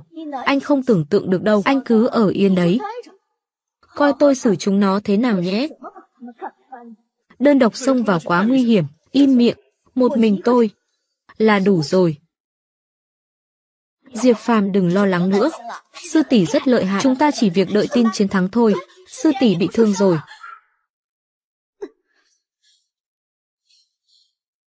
Tất cả là tại hắn ta. Nếu không phải hắn làm lung lay tinh thần, tôi đâu có lúng túng như thế, càng không thể thua hắc xà. Tất cả tại cái miệng quạ đen của anh đã giết chết tôi, giết chết tất cả mọi người. Tất cả tại cái miệng quạ đen của anh đã giết chết tất cả mọi người, vốn đã cảnh báo cô nên cẩn thận mà. Không chịu nghe, cứ phải tự mình xung trận, giờ kém cỏi hơn đối thủ lại đổ lỗi cho tôi. Thật là buồn cười. Anh... Anh biết hắc xà lợi hại. Tại sao lúc tôi xung trận, anh không ngăn cản tôi lại? Nếu anh ôm chặt đùi tôi không cho tôi lên, làm sao tôi lên được? Tình thế bây giờ hoàn toàn do anh gây ra, anh phải chịu trách nhiệm chứ. Nói về không biết xấu hổ thì không ai bằng cô. Anh nói gì? Được rồi, đừng cãi nhau nữa. Hắc xà giết tới nơi rồi kìa. Ông Hoàng, chỉ cần ông chết đi, người cản trở đại nghiệp của Quang Lão, sẽ bớt đi một người. Ông Hoàng, mau chạy đi không cần chạy. Đồ khốn, anh sẽ làm hại ông Hoàng mất. Hai người đã đánh xong, đến lượt tôi rồi. Ngay cả tôi cũng không phải là đối thủ. Anh tự sát à, chỉ một ngón tay của cô ta cũng có thể chọc chết anh đấy. Diệp Phàm, Thằng nhóc con, đúng là không tồi nhỉ. Nhưng cậu quá tự tin rồi đấy. Mày không đủ tư cách nói câu đó. Cười đi, cứ cười tiếp đi. Thằng nhóc, lau ca thật đấy, nhưng tôi không quan tâm đâu. Thua rồi, thua rồi, còn sủa nữa không? Còn ai không? Còn ai không? Không ngờ chủ nhân lại lợi hại đến thế, em cứ tưởng chỉ giỏi y thuật thôi chứ. Nguyệt Nhi, đừng vô lễ. Cháu chỉ tò mò thôi mà. tên này thật lợi hại, làm chủ nhân của mình cũng được, không làm nhục danh dự. Hàn Nguyệt, mày nghĩ gì thế? Cậu Diệp, cậu đã cứu Hoàng Phi Hổ tôi một mạng. Hãy nhận của tôi một lại. Ông Hoàng, quá khách sáo rồi.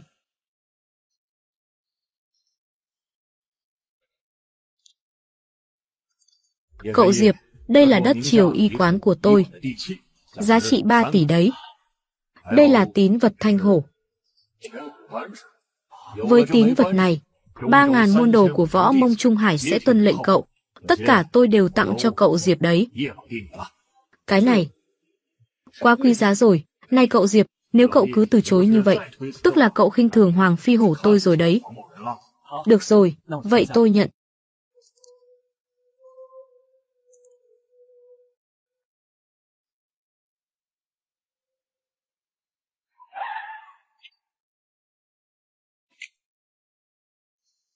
Ông Hoàng, ông không sao chứ? Ông Hoàng, ông không sao chứ? Tôi nghe nói Quang Kiều Sở lại gây phiền phức với ông. Đúng vậy, Quang Kiều Sở hắn dai như đỉa. Xem ra thời bình của Trung Hải sắp kết thúc rồi. Được rồi, ông Dương, đừng nhắc đến những chuyện xui xẻo nữa. Để tôi giới thiệu với ông. Đây là Diệp Phàm, Diệp Thần Y, y thuật và võ công song lần này tôi có thể thoát nạn, là nhờ cậu ta đấy.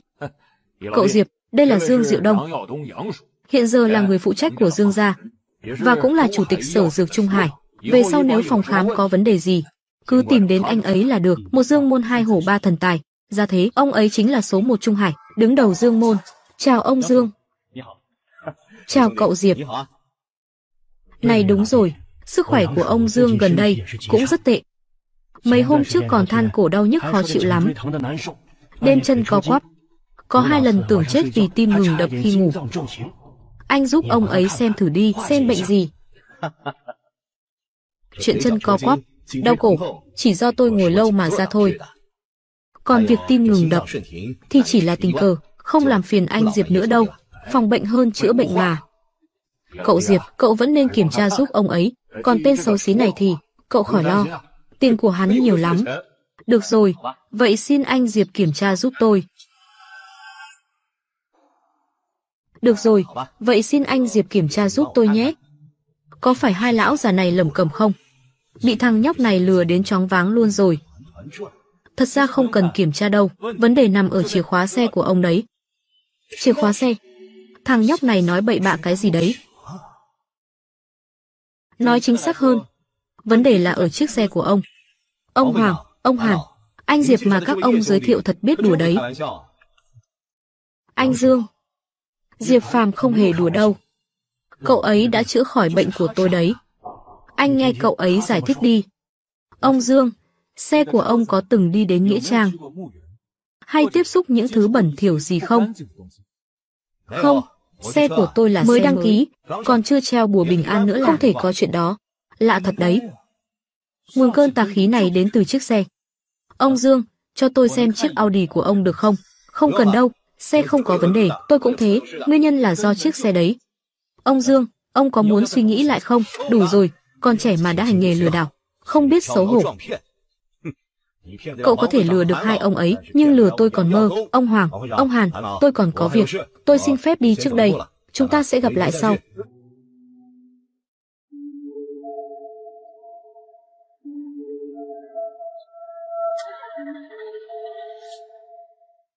Không tốt rồi.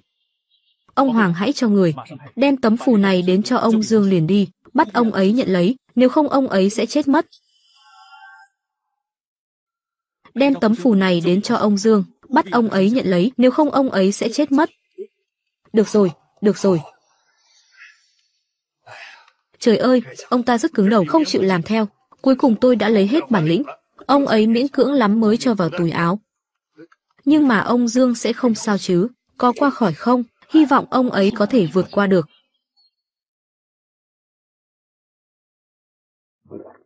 Hôm nay rảnh rỗi gọi chị đi uống rượu thế, ở nhà có việc gì à? Thôi đừng nhắc nữa. Em bị đuổi ra ngoài rồi đấy. Hồi đầu anh có hứa với em, sẽ tìm một công việc chân chính. Nửa tháng rồi, công việc đâu rồi? Chị Nhan à em định tìm một công việc. Chị thấy em nên làm nghề gì nhỉ? Tài sản của em đã hơn vài tỷ rồi đấy, có thể đi ba đi pub thường xuyên rồi còn gì, đi làm làm cái quái gì nữa, chủ yếu là muốn tìm việc gì đó để làm, tích lũy kinh nghiệm sống. Là do vợ em yêu cầu phải không? Vợ em quản ghê đấy. Y thuật của em cao siêu đến thế, hơn nữa ông Hoàng vừa tặng em một miếng đất mà. Chị đề nghị em nên mở luôn một bệnh viện. Nhưng Nhược Tuyết không thích em làm thế. Cô ấy sẽ không vui, hơn nữa em không có chứng chỉ hành nghề. Việc này để chị lo. Bệnh viện và giấy phép, chị sẽ lo hết, chỉ cần em ngoan là đủ.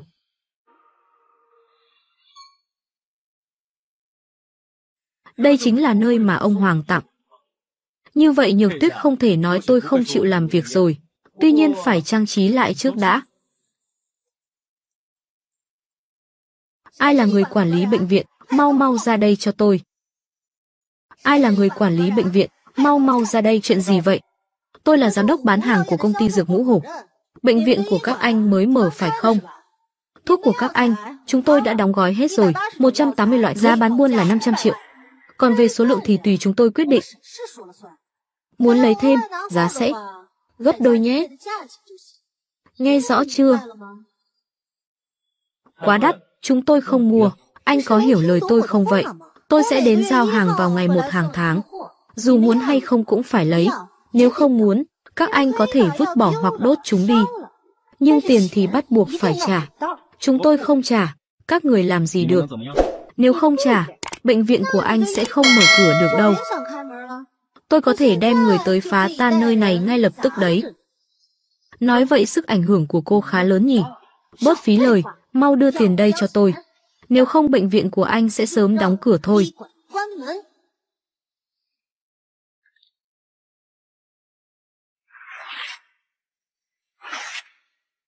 Cút. Được lắm, được lắm. Dám xé hợp đồng của tôi à? Các người chết chắc rồi đấy. Đại ca, mang người tới giúp em được không? Phá hủy bệnh viện. Ở đây có đứa không chịu nghe lời. Bây giờ, ngoan ngoãn nộp tiền đi. Nếu không, chút nữa coi chừng đấy nhé. Nếu không, chút nữa coi chừng đấy nhé. Được thôi. Để xem chúng mày định làm gì, bệnh viện của tao. Ai đã bắt nạt em họ cũ của tôi? Báo rõ tên tuổi ra. Tao sẽ không giết những tên phế vật. Tên họ à? Tao. Tao tên Diệp Phàm. Đại đại đại đại ca, đại ca. Để xem bọn mày sẽ đập nát bệnh viện của tao như thế nào. Đại ca. Xin lỗi mà, xin lỗi đại ca hắn chỉ là một tên bình thường mở bệnh viện thôi mà. Sao anh sợ hắn thế? Câm mồm đi. Đại ca, toàn bộ là hiểu lầm, hiểu lầm. Cầm theo cái này còn bảo là hiểu lầm à. Đúng là hiểu lầm thôi, đại ca mấy thứ này không phải của hắc cầu em. Bọn em mang chúng đến đây, chỉ để giúp anh lao động thôi. Đặc biệt tới để xem, có tên nào đòi tiền bảo kê ở đây hay không. Vậy thì vừa hay, nhà vệ sinh của bệnh viện đang cần tu sửa, cần bổ sung thêm nhân lực, đám bay ở lại đây làm đi, cho tới khi xong việc thì trở về. Có ý kiến gì không? Cho tới khi xong việc thì trở về. Có ý kiến gì không? Không vấn đề, không vấn đề gì đâu. Làm thôi. Đi dọn nhà vệ sinh nhanh nào. Đi nhanh nào.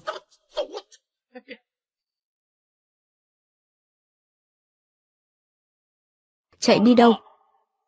Cảm ơn cô đã gọi người tới giúp. Còn ai nữa không? Gọi tiếp đi, chúng ta đi. Ai cho cô đi hả? Vừa hai tường này còn chưa sơn xong, mấy người sơn hộ tường này đi, đừng có quá đáng. Đừng tưởng dọa được hắc cẩu là có thể dọa tao được đâu. Nói cho mày biết, tao là người của tập đoàn ngũ hổ đấy. Mày biết người điều hành chúng tao là ai không? Tập đoàn ngũ hổ à? To mồm thật đấy.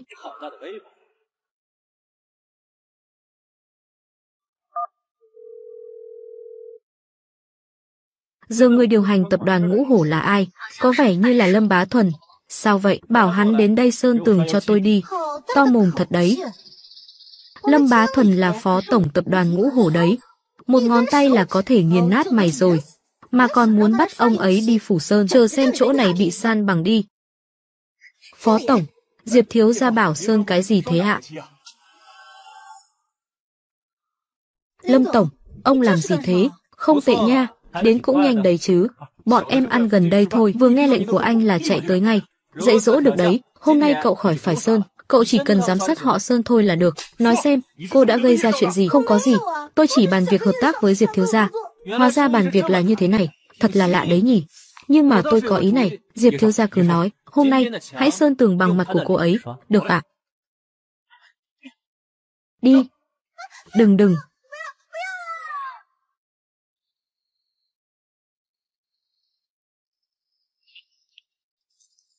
Diệp Phàm, anh đã làm ăn gì chưa đấy? Mấy hôm rồi, tìm việc chưa? Sắp rồi, đang tìm đây. Yên tâm đi, anh sẽ không ăn bám đường ra nữa đâu. Thái độ của anh là thế nào? Ý em không phải là nói anh ăn bám, em chỉ muốn anh làm một công việc chân chính thôi. Làm việc cũng tốt, như vậy mới có thể yêu đương công khai với Triệu Đông Dương chứ. Triệu Đông Dương đến công ty hợp tác, xe của em đã gặp sự cố, anh ấy chỉ chờ em về nhà thôi. Em và hắn ta trong sạch, đừng có ngậm máu phun người. Em và hắn ta trong sạch, đừng có ngậm máu phun người. Tình cảm dần dần sẽ phát triển theo thời gian mà. Miệng cầu ăn nói tầm bậy, Diệp Phàm ở đây ghen tuông lung tung, không có ý nghĩa gì cả. Nếu rảnh rỗi, hãy tìm cho mình một công việc. Đã tìm được công việc rồi, tốt. Cái gì anh? Anh mở bệnh viện, Diệp Phàm, cuối cùng thì anh muốn làm gì? Anh đã hứa với em sẽ không hành nghề y nữa mà. Bây giờ anh ổn không? Có điên không? Còn dám mở luôn cái bệnh viện, anh xem em là gì? Anh có biết việc này có thể giết rất nhiều người không? Trong mắt em, anh tồi tệ đến vậy sao? Đúng, là anh có hứa với em như thế, nhưng tất cả mọi người xung quanh đều tin tưởng anh tuyệt đối. Anh tự biết mà, anh có giấy phép hành nghề không? Em nói anh biết, mau đóng cửa bệnh viện trước khi có sự cố xảy ra. Xin lỗi, anh không đóng, bệnh viện là tâm huyết của anh. Tuyệt đối không.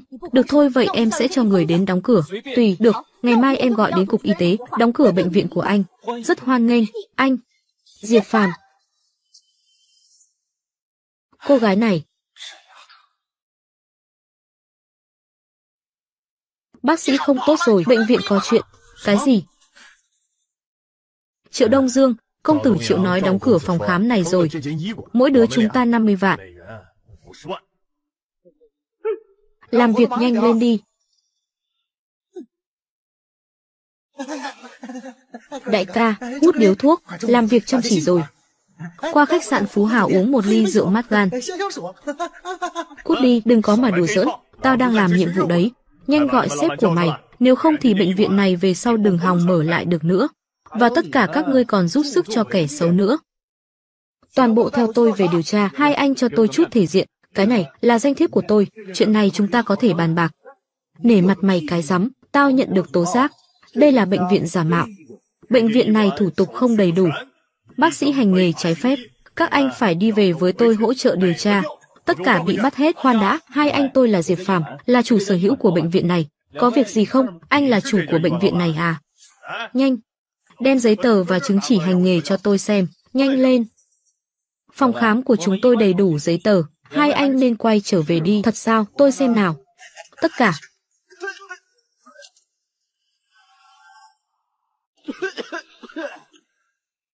Xin lỗi nha, không nhìn rõ. Giờ thì rơi rồi, bẩn thế này rồi, càng không nhìn rõ. Chúng ta cứ xem như là giả vậy. Người đâu bắt lấy? Bắt giữ những kẻ chống đối về đồn. Vâng, đi theo hai người các ngươi. Có thú vị không? Thú vị hay không? Vào trong sẽ biết. Đưa điện thoại và đồ cá nhân ra đây. Bây giờ hai người mau mở cửa bệnh viện này cho tao. Nếu không muốn chết. Còn cứng đầu à? Chờ đến lúc tra tấn mày sẽ biết tay tao. Diệp thần y, chiếc xe này thật sự có vấn đề. Anh ở đâu tôi đến đó ngay. Thần y cái rắm, Diệp Phàm mở bệnh viện bất hợp pháp đã bị bắt rồi. Đến nhà tù tìm anh ta đi, tao là Dương Diệu Đông. Mày là ai, tao là ai thì liên quan gì đến mày. Bây giờ hai người không còn cơ hội nào nữa. Chưa thấy quan tài chưa đổ lệ, tí nữa tao sẽ tự mình thẩm vấn mày. Thủ đoạn ở đây mày không biết đâu. Thằng nhãi, mày nghĩ cuộc gọi vừa rồi có thể cứu được mày à? Chỉ cần bọn tao bắt được mày, đừng hòng ra ngoài được nữa. Tốt nhất tối nay các anh phải canh chừng tôi cẩn thận. Tuyệt đối đừng để tôi thoát ra ngoài. Bắt lấy. Này, thả tao ra. Tên gì lấy tiền ở đâu mà mở bệnh viện? Hành nghề bất hợp pháp được bao lâu rồi? Có bao nhiêu bệnh nhân? Đừng tưởng nếu mày không nói thì tao sẽ không làm gì được mày. Mày thái độ như này, tội sẽ càng thêm nặng. Diệp Phàm, đồng bọn của mày đã khai hết rồi đấy. Bây giờ cho mày nói là để có cơ hội giảm nhẹ tội đấy. Thằng chó đẻ, với cái thái độ đó của mày, có tin tao đánh mày không? Tổ trưởng, đồng bọn của hắn đã khai hết rồi sao? Đã rõ thân phận từng người. Nói đi, để thằng nhóc hết hy vọng. Kẻ dọn nhà vệ sinh tên là Hắc Cầu, là người của Tứ Hải Thương hội. Cái gì? Còn nữa, thợ sơn tường tên là Lâm Bá Thuận, phó tổng tập đoàn Ngũ Hổ ở Trung Hải. Là phó tổng còn đi sơn tường à? Còn có quốc thủ Tôn Thánh Thủ gửi tin nhắn đến, nói chúng ta đã bắt sư phụ của ông ấy. Đừng nói bậy. Gì cơ? Các luật sư của Ngũ Hổ và Tứ Hải đã chắn hết cửa rồi, yêu cầu chúng ta phải thả anh ta ra ngay. Làm sao bây giờ? Làm thế nào đây? Không thể nào. Làm sao một thằng con rể vô dụng lại có mối quan hệ mạnh đến thế? Hắn rốt cuộc là ai? Chết tiệt. Đây rõ ràng là cái bẫy. Mỗi người đều là phú hào có tài sản trị giá trên 10 tỷ. Lão Lý, sợ chuyện này sẽ không có kết cục tốt đẹp. Sợ cái gì? Chúng ta chưa làm gì hắn cả. Đã cảm thấy hối hận khi bắt tao vào đây chưa? Hỗn xược, đừng tưởng quen biết vài người giàu có là có thể làm càn. Hành nghề bất hợp pháp, mau nhận tội đi, nếu không, ai cũng sẽ không cứu được mày. Dương Diệu Đông vừa gọi đến. Tôi tra rồi, từ cơ quan quản lý dược phẩm gọi đến. Lại là Dương Diệu Đông. Cái gì Dương Diệu Đông? Dương Cục, Dương Cục nào? Còn ai được nữa? Chính là người xếp thứ ba Trung Hải. Cơ quan quản lý dược phẩm xếp thứ nhất đấy. Không thể nào, điều đó không thể nào. Một bác sĩ nhỏ như vậy, làm sao có thể có mối quan hệ rộng lớn đến thế chứ?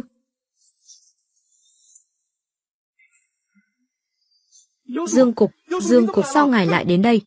Xin lỗi Diệp Thần Y, gặp được anh rồi. Cảm ơn anh đã cứu tôi một mạng, cứu cuộc đời tôi. Anh có thể giúp tôi khám lại được không? Xin lỗi ông Dương, họ bảo tôi không được phép hành nghề ở Tổng cục Dược. Giờ tôi không thể điều trị cho anh được. Hành nghề trái phép, sẽ bị bắt đấy. Đồ chó má. Ai cho phép các người lộng hành như thế? Hôm nay các người phải giải thích rõ, nếu không tôi sẽ trừng trị các người. Còn đứng đấy làm gì? Thả người ra. Diệp Thần Y đã điều tra rõ ràng việc hai người bọn họ, những tội lỗi trước đây của họ đủ để ngồi tù cả đời. Theo lời Triệu Vinh Thăng, việc này do đường Nhược Tuyết sai khiến. Tuy nhiên, hắn nói đường Nhược Tuyết chỉ nói không được để anh hành nghề, để tránh anh gây hại cho người dân. Người thực sự ra tay là Triệu Đông Dương của tập đoàn Đông Dương. Ngay cả vợ hắn cũng không tin tưởng hắn. Thật không hiểu sao anh hai lại tôn trọng hắn ta đến thế. Cảm ơn ông Dương rất nhiều, việc còn lại tôi sẽ tự lo liệu.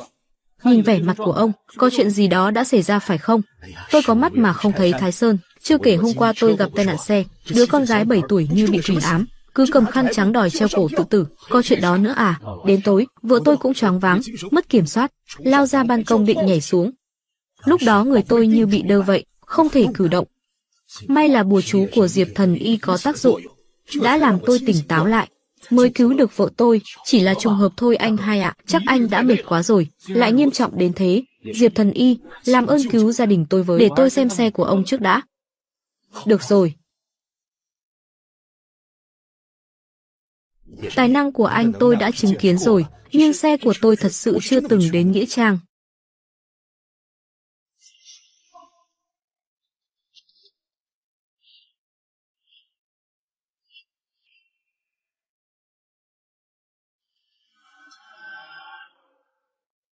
Sao trên xe tôi lại có thứ ai đã làm? Ông Dương không biết gì à? Hay là do đám tang tôi đụng phải lần trước? Tháng trước tôi gấp gáp ra sân bay, đã va chạm với một đám tang trên đường, vô tình đâm vào họ một chút, không lẽ vì thế, chỉ một chút thôi sao? Ông Dương hãy nói thật đi, lúc này mà ông còn không nói thật với tôi, thì tôi cũng không giúp được. Diệp thần y, Diệp thần y tôi sai rồi, là lỗi của tôi, lúc đó tốc độ của tôi quá nhanh, mặc dù không làm ai bị thương, nhưng khiến vài người bị ngã ra đường, Tất cả đều là lỗi của tôi, phải nhường đường khi gặp đám tang chứ. Không những ông không nhường đường, còn đâm vào họ nữa, sau đó cũng không có an ủi gì cả. Diệp thần y tôi sai rồi, vậy bây giờ phải làm gì để hóa giải? Muốn hóa giải thì phải xua tan đi oán khí đó.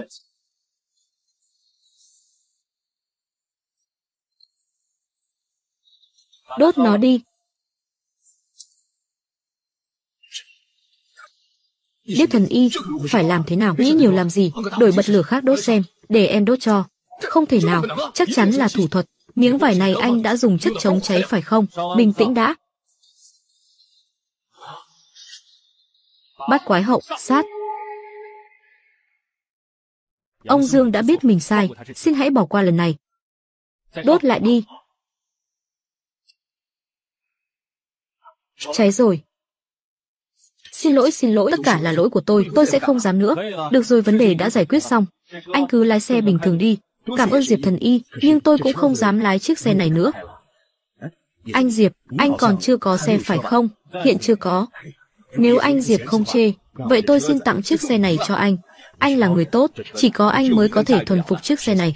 Anh nhận lấy đi, vậy tôi nhận nhé. Được rồi. Diệp thần y phương pháp lúc nãy thật ảo diệu, nhưng tôi không tin. Tôi khẳng định anh đã dùng mưu mẹo. Vì anh chưa có ý định xấu gì nên tôi sẽ bỏ qua. Nhưng nếu anh dám làm hại anh trai tôi hoặc Dương gia, Dương Kiếm Hùng tôi sẽ không tha cho anh đâu. Nhớ cho kỹ đấy, anh không tin những thứ lúc nãy. Vậy anh tin cái gì? Nắm đấm. Vậy anh tin cái gì? Nắm đấm.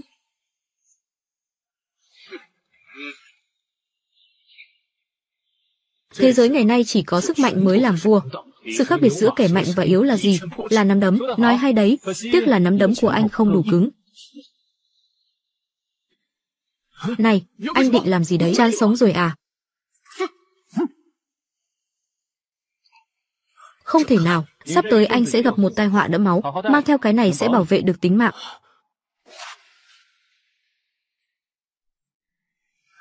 Anh rể, chuyến bay hạ cánh lúc 5 rưỡi chiều anh nhớ đón em nhé. Kỳ kỳ, thật ra anh và chị gái của em. Anh rể, em phải lên máy bay rồi, đừng đến trễ nha.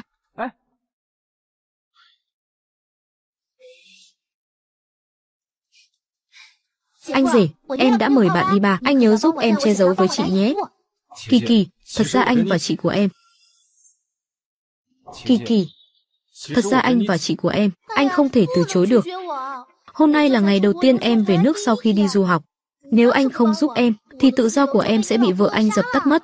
Được rồi, anh có thể đánh lạc hướng giúp em, nhưng trước 11 giờ tối em nhất định phải về nhà họ đường đấy nhé.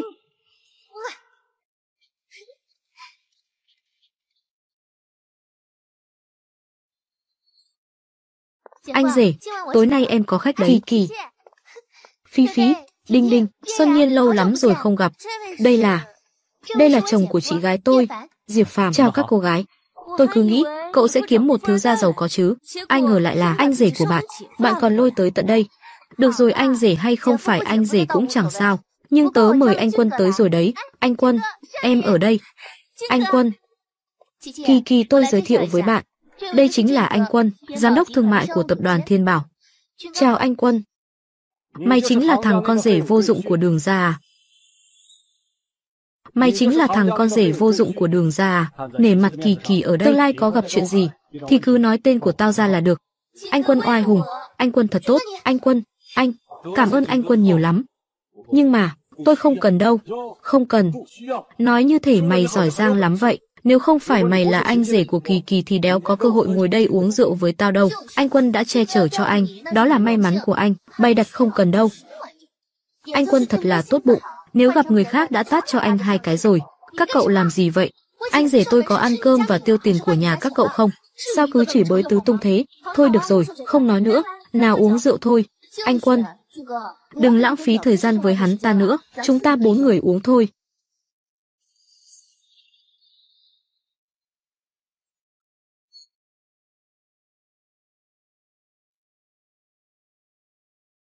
Kỳ kỳ, thêm một ly nữa.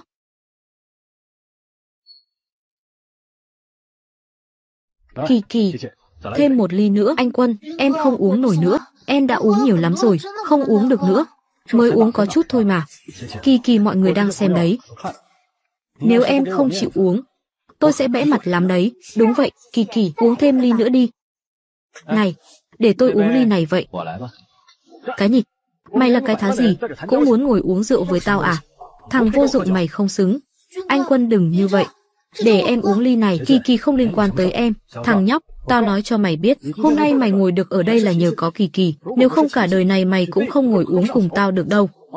Hiểu không? Tự cho mình là đại nhân vật à? Thằng khốn dám đập vỡ dĩa trái cây, thằng nào dám làm loạn ở đây? Muốn chết hả? thằng nào dám làm loạn ở đây? Muốn chết hả? Tao không quan tâm mày là ai, cho mày 10 giây, ra đây cho tao. Nếu không tao sẽ tìm ra mày và giết chết mày. Tôi đập vỡ nó đấy, làm sao? Anh là ai? Chúng ta không thủ không oán, đúng là chúng ta không thủ không oán. Vậy đĩa trái cây, các người quá ồn ào, làm phiền đến tôi, đây là quán bar, tao muốn thế nào thì làm, liên quan mẹ gì đến mày. Đừng ức hiếp người quá đáng. Tao ức hiếp mày thì làm sao, mày làm được gì tao, anh bạn, tôi là giám đốc thương mại của tập đoàn Thiên Bảo, cho tôi chút thể diện đi. Thể diện cái rắm, mày là cái thá gì mà bắt Hoàng Tiểu Hổ tao phải nhường nhịn. Cái gì? Anh là Hoàng Thiếu, là con trai của ông Hoàng. Không ngờ một tên ti tiện như mày cũng biết đến tao. Nhưng đã quá trễ rồi. Tao ghét nhất là những người còn hống hách hơn tao nữa đấy. Hoàng Thiếu, bố tôi là Hồng Phú, từng là phó chủ tịch hội liên hiệp. Hoàng Thiếu, bố tôi là Hồng Phú, từng là phó chủ tịch hội liên hiệp. Nếu không muốn ông già mày gặp rắc rối, thì tốt nhất đừng nhắc đến ông ấy. Không tin thì thử xem, xem ông ta có dám ra mặt không. Cho mày một cơ hội, tất cả đàn ông mau cút ra khỏi đây. Phụ nữ ở lại đây để nói chuyện với anh. Không tệ, không tệ, phong cách nửa tỉnh nửa mê của em. Anh rất thích. Không ngờ vẫn còn mỹ nhân. Mau cút đi. Tiểu mỹ nhân, em sẽ ở lại đây đêm nay để phục vụ anh. Anh sẽ cho em biết thế nào là đàn ông thực sự. Anh rể cứu em với. Cút, mày dám đánh tao, đụng đến người tao bảo kê. Nhớ cho kỹ, ai đụng đến người tao bảo kê thì sẽ biết từ chết viết thế nào. Dám đánh Hoàng Tiểu Hồ tao, mày là thằng đầu tiên, mau báo tên tuổi cho tao nghe. Hoàng Thiếu, tên hắn là Diệp Phàm, hắn là thằng rể ăn bám vợ. Hoàng Thiếu, tên hắn là Diệp Phàm, hắn là thằng rể ăn bám vợ, là thằng vô dụng, hắn đến đây cùng với em dâu, chỉ để xin ăn trực thôi. Diệp Phàm, Hoàng Thiếu là ai biết không? Là con trai của ông Hoàng đấy, nếu không muốn chết, nhanh quỳ xuống xin lỗi đi, đừng liên lụy chúng tôi. Thằng vô dụng kia, Tao là tên côn đồ số một Trung Hải đấy lại bị một thằng ăn bám đánh. Thằng nhóc, mày có biết mày vừa gây ra chuyện gì không? Mày nói cho tao biết cuối cùng tao đã gây ra chuyện gì. Thằng nhóc, chắc mày không biết từ chết viết thế nào rồi. Hoàng thiếu chúng tôi không quen hắn. Hắn là do Kỳ Kỳ mang chúng tôi không quen. Đúng, chúng tôi không quen. Hắn là anh rể của Kỳ Kỳ, chúng tôi không liên quan. Sao các người lại như vậy? Hắn đã chọc giận Hoàng Thiếu. Chúng tôi không muốn chết. Kỳ Kỳ nên cắt đứt quan hệ với hắn, đừng để bị liên lụy. Rời xa thằng này sẽ sống, nếu không hai người sẽ chết cùng nhau. Em sẽ không bao giờ từ bỏ anh rể. Tốt lắm, em dâu đã muốn chết cùng với anh rể như thế. Tao sẽ cho hai người tọa nguyện. Cha mày thì khiêm tốn, còn mày thì ngang tàng, không sợ bị bố đánh đòn à, sắp chết đến nơi mà vẫn sủa được. Bây đâu? Bây đâu, Hoàng Thiếu, giải quyết thế nào đây? Bắt tất cả vào trong, tao sẽ đích thân giết hắn, xử lý xong rồi tính tiếp, đi mau không muốn sống nữa à? Anh rể, Kỳ Kỳ yên tâm đi, anh sẽ đi cứu em sau. Đồ khốn, tại anh chúng tôi mới chết. Mày sẽ không thoát khỏi cái chết đâu, để tao tiễn mày một đoạn. Em trai, chị khuyên em nên quỳ xuống van xin tha mạng đi. Quỳ cho thật lâu vào, không chừng Hoàng Thiếu sẽ tha cho em một mạng. Trong cuốn từ điển của tao, không có từ quỳ xuống, thằng nhóc, Đừng sợ, đừng yên để tao đập vỡ 100 chai rượu lên đầu. Cho dù sống hay chết, tao cũng sẽ thả mày. Nếu mày chống cự, tao sẽ đập tất cả chai rượu lên đầu mày. Có ý kiến gì không? Hoàng thiếu thật bá đạo, rất có khí phách. Tại sao hắn lại có tín vật thanh hổ? Mày, mày là ai? Cha của mày. Chính tao đã cứu ông ấy, nói đi tao là ai? Anh chính là Diệp Thần Y. Chính tao đã cứu cha mày, nói đi tao là ai? Anh chính là Diệp Thần Y. Tao chính là Diệp Phàm. Tôi xin lỗi Diệp Thần Y, tôi không nhận ra anh. Mày có vẻ không phục. Trong mắt của mày, tao chỉ là kẻ lợi dụng danh tiếng của cha mày để thoát chết thôi phải không? Diệp Thần Y, đừng nói thái quá nữa.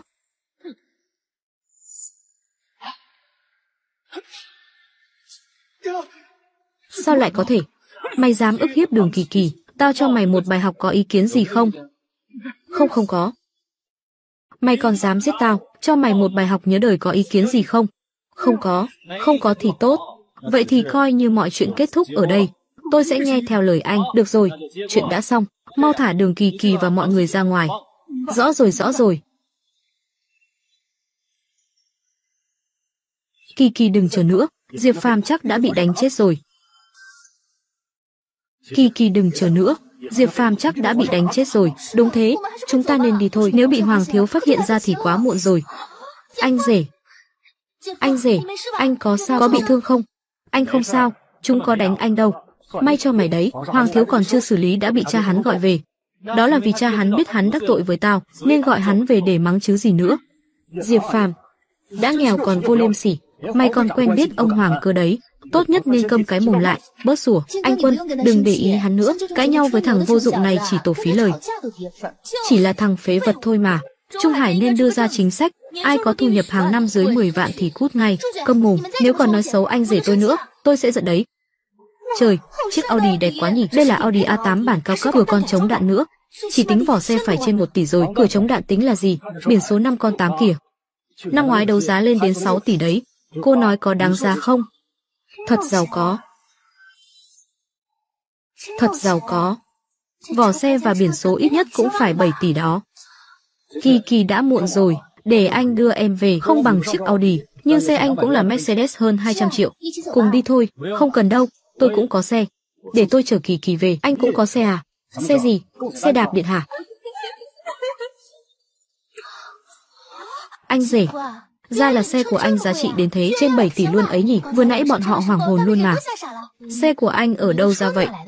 Nếu anh nói là một người bạn bị ma ám và anh đã giúp xua đuổi, để cảm ơn anh, anh ấy đã tặng luôn chiếc xe này, thì em có tin không, anh rể, ba năm không gặp, anh đã thành đại ca rồi à, thật tuyệt vời. Em có tin những gì anh nói không?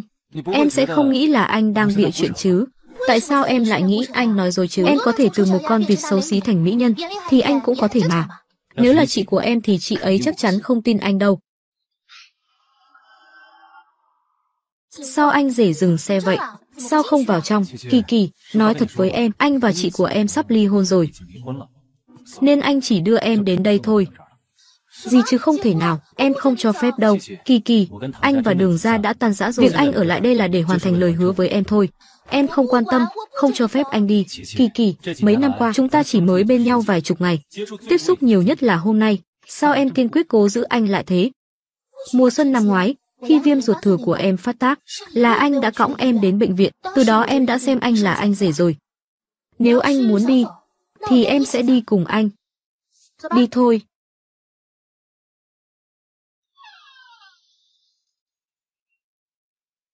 Chào buổi sáng anh rể. Kỳ kỳ, em thật sự định ở đây à? Anh rể, anh sẽ trở về đường ra lúc nào? Em sẽ đi cùng anh lúc đó. Tiểu nha đầu.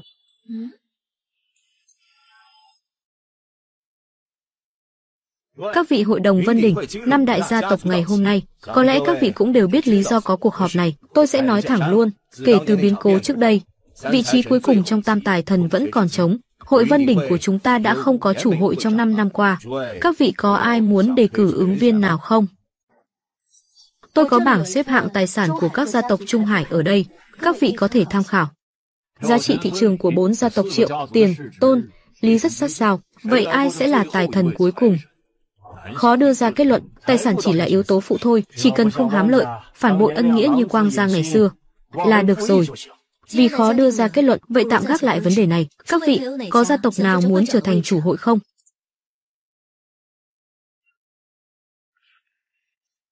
Các vị, lâu lắm rồi không gặp. Hôm nay tôi đến đây chỉ để nói với các người một chuyện, vị trí chủ hội chỉ có tôi mới xứng đáng. Quang Kiều Sở, ông sai người ám sát tôi, vậy mà còn dám xuất hiện trước mặt chúng tôi.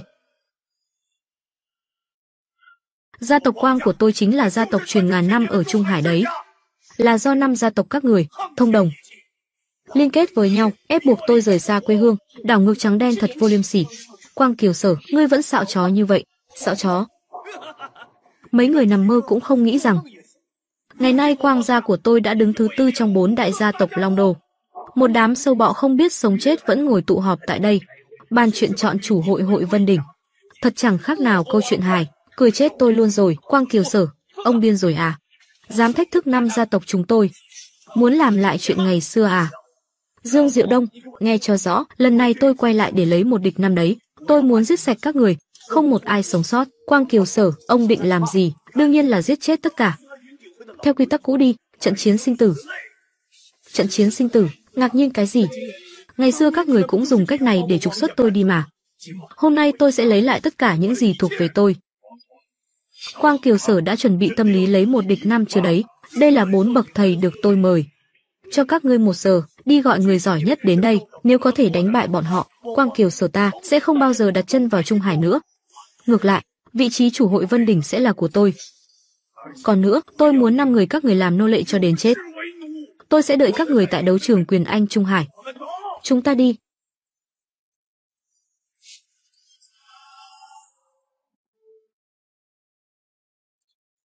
Quang gia, tôi đã tra rõ Bạch Xà, Hắc Xà đều chết dưới tay Diệp Phàm, không diệt được hắn, hậu họa về sau, Diệp Phàm có thể giết Hắc Xà và Bạch Xà, được xem là mối đe dọa nhất định.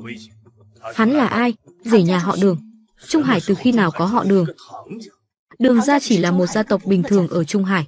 Vợ của Diệp Phàm là Đường Nhược Tuyết chỉ điều hành một công ty nhỏ. Còn Diệp Phàm chỉ là một thằng liều lĩnh, không có quyền lực.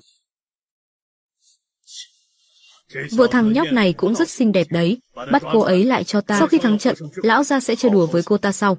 Quang lão hãy yên tâm, chị em của tôi đã chết trong tay hắn, tôi thề sẽ giết chết hắn. Tốt, nửa tiếng nữa, ta phải thấy đầu của Diệp Phàm. Tôi đã bố trí hai cao thủ đứng đầu, sẽ không bỏ lỡ cơ hội này đâu. Rất tốt, đợi ta thống trị Trung Hải. Ngươi sẽ được ban phúc. Cảm tạ Quang lão. Rất tốt, đợi ta thống trị Trung Hải, ngươi sẽ được ban phúc. Cảm tạ Quang lão. Long xà truyền thông muốn quảng bá sản phẩm của chúng tôi. Được, tôi sẽ đến ngay.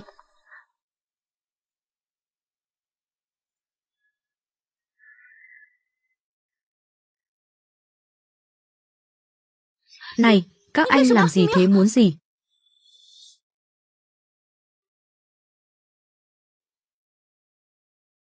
Cô là chủ tịch Long Xà truyền thông phải không? Không phải muốn hợp tác với tôi sao? Sao cô lại làm thế này chứ? Câu hỏi hay đấy, nhưng tôi sẽ không trả lời đâu. Muốn hỏi thì hỏi anh chồng tốt của cô đi. Cô định làm gì vậy? Có người đã nhìn chúng cô rồi đấy, nhưng tôi lại thấy tiếc cho cô, mỹ nữ xinh đẹp nhất Trung Hải. Bây giờ còn sớm. Hay là chúng ta vui chơi một chút đi? Không, không được, không được, không được. Kỹ thuật bấm huyệt của anh rể giỏi quá đi, không biết sao anh cứ có cảm giác không lành. Diệp thần y, không ổn rồi. Sao vậy? Anh gặp chuyện kỳ lạ nữa à? Kiếm Hùng vừa báo, cô đường vừa gặp tai nạn xe hiện đã mất tích. Cái gì cơ? Có khả năng cô ấy bị bắt cóc. Chúng tôi đã điều tra nhật ký liên lạc gần đây của cô ấy, liên quan đến Long Xà truyền thông. Tôi biết rồi. Diệp Thần Y, Long Xà truyền thông chỉ là công ty đầu tư trên danh nghĩa, thực chất là nơi Quang Kiều sở luyện tập sát thủ, người đứng sau nó là Thanh Xà, là em gái của Hắc Xà và Bạch Xà, nhưng sức mạnh vượt xa hai chị, rất khó lường. Hắc Xà nào, Thanh Xà dám động đến người của tôi thì sẽ trở thành tử xà. Diệp Thần Y, tôi biết anh là cao thủ, nhưng anh đừng liều mạng như thế, đối đầu với cả tổ chức sát thủ. Tôi đã cử Dương Kiếm Hùng tới, khỏi cần, vợ tôi thì chính tôi sẽ tự đi cứu. Không phận sự cấm vào. Không phận sự cấm vào, cút ngay, cảnh cáo lần cuối, mau cút đi, nếu không sẽ bắn đấy. Bắn hộ bố mày cái, muốn chết.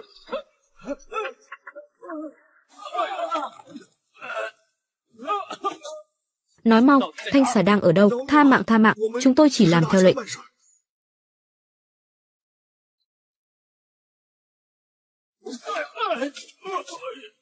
Thanh xà đâu? Mau ra đây đi.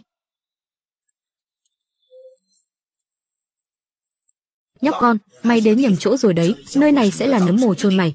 Bớt sủa đi, mau gọi thanh xà ra đây cho tao. Nhớ kỹ, kẻ giết mày chính là bát ma tương quốc. Bát ma tương quốc. Đầu lĩnh tam ma, không phải tên vô danh, ta sẽ lấy đầu ngươi làm chiến lợi phẩm. Sợ chó.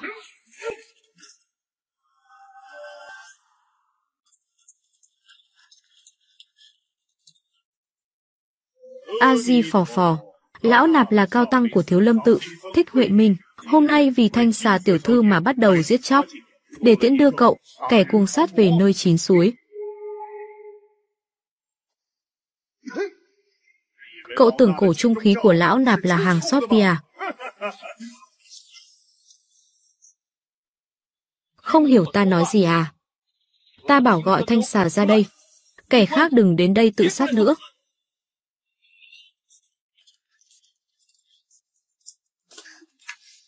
Rất nhiều cao thủ mà vẫn không ngăn cản nổi người. Vợ ta đâu? Cô ấy. Chết rồi. Tìm chết. Mạnh mạnh quá. Nhưng dù ngươi có mạnh thì cũng vô dụng. Cô vợ xinh đẹp của ngươi đã bị ta giết chết rồi. Cô vợ xinh đẹp của ngươi đã bị ta giết chết rồi.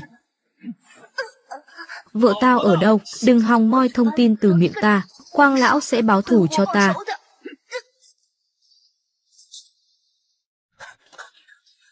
Nhược tuyết, nhược tuyết, em có sao không? Không sao. Những người này chết thế nào? Em nghe nói tất cả đều là cao thủ thiên mãng cơ mà, tất cả đều do anh giết, để cứu em. Đừng nói láo nữa, anh có biết điều kiện gia nhập thiên mãng không? Bang chủ võ môn của Trung Hải mới đủ điều kiện thôi, nếu anh có thực lực thì đã nổi danh khắp nơi rồi, anh có thể. Còn tin hay không là tùy em, thả em xuống, em tự đi được, thả xuống đi. Có lẽ đã có cao thủ đi ngang qua trợ giúp, sau khi giết sạch bọn chúng thì đã bỏ đi rồi. Và anh chỉ tình cờ đi ngang qua và cứu em, đúng như vậy phải không? Đúng như vậy phải không? Nhiều tuyết, em không thể tin tưởng anh dù chỉ một lần à. Được rồi, anh hiểu rồi. Thần y, có chuyện lớn xảy ra rồi, anh mau đến đấu trường quyền anh đi. Được, tôi đến ngay, anh có chút việc gấp, em nên đến bệnh viện kiểm tra sức khỏe. Không cần.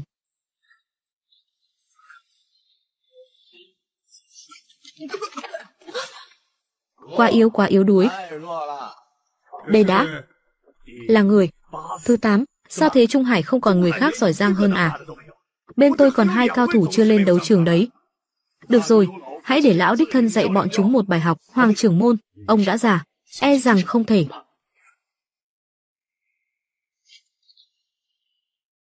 Đây là hồi xuân đan dược đại la trị giá 100 tỷ. Vốn là vật bảo mệnh của lão để dành. Nhưng bây giờ chỉ có thể chơi khô máu thôi. Nói xong chưa? Người Trung Hải thật là vô dụng. Nói xong chưa? Người Trung Hải thật là vô dụng. Lão tuy tuổi tác đã cao, không còn thời đỉnh cao nữa, nhưng giết thằng hề này cũng dễ mà thôi. Chúc Hoàng trưởng môn giành thắng lợi rực rỡ. Năm gia tộc Trung Hải, khuyên các ngươi nên đầu hàng. Để lại vị trí đó đi, mơ mộng hão huyền. Đi chết đi.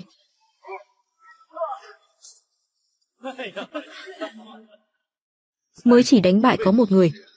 Các người vui mừng quá sớm rồi đấy. Vậy hãy gọi hai người kia lên một lần luôn đi. Ngông cuồng.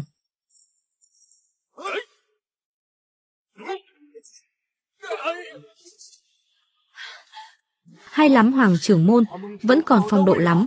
Chúng tôi vô cùng khâm phục. Hoàng trưởng môn lấy một địch ba. Quang Kiều Sở nói gì đi chứ? Quang Kiều Sở ngươi đã thua rồi.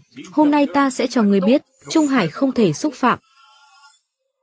Quang Kiều Sở ngươi đã thua rồi. Hôm nay ta sẽ cho ngươi hiểu rõ. Trung Hải không thể xúc phạm. Ta sẽ cho ngươi biết thế nào là lễ hội. Hôm nay ngươi sẽ bị đuổi ra khỏi đây như một con chó.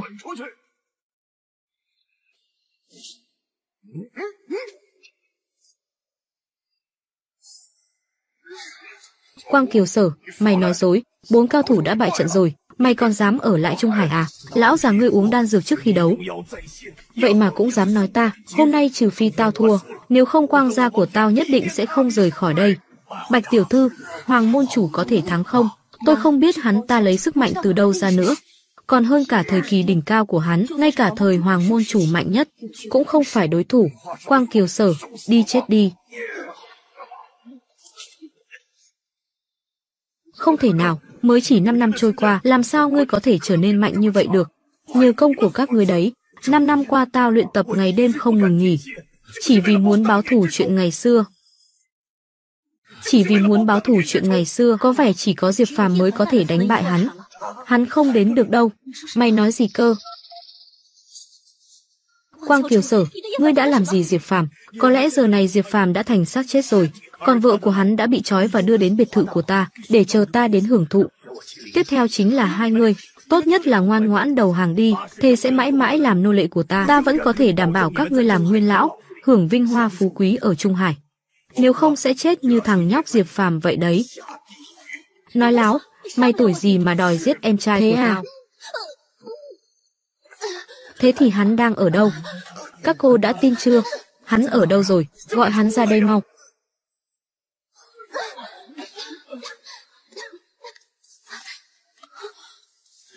Nghe nói, mày đang tìm tao à?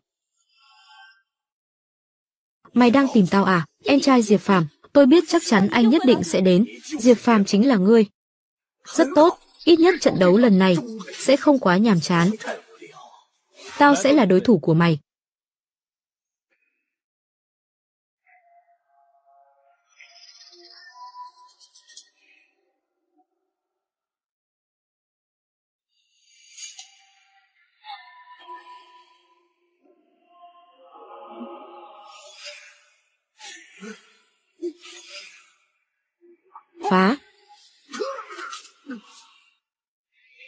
Đây là thuật pháp của tiên nhân.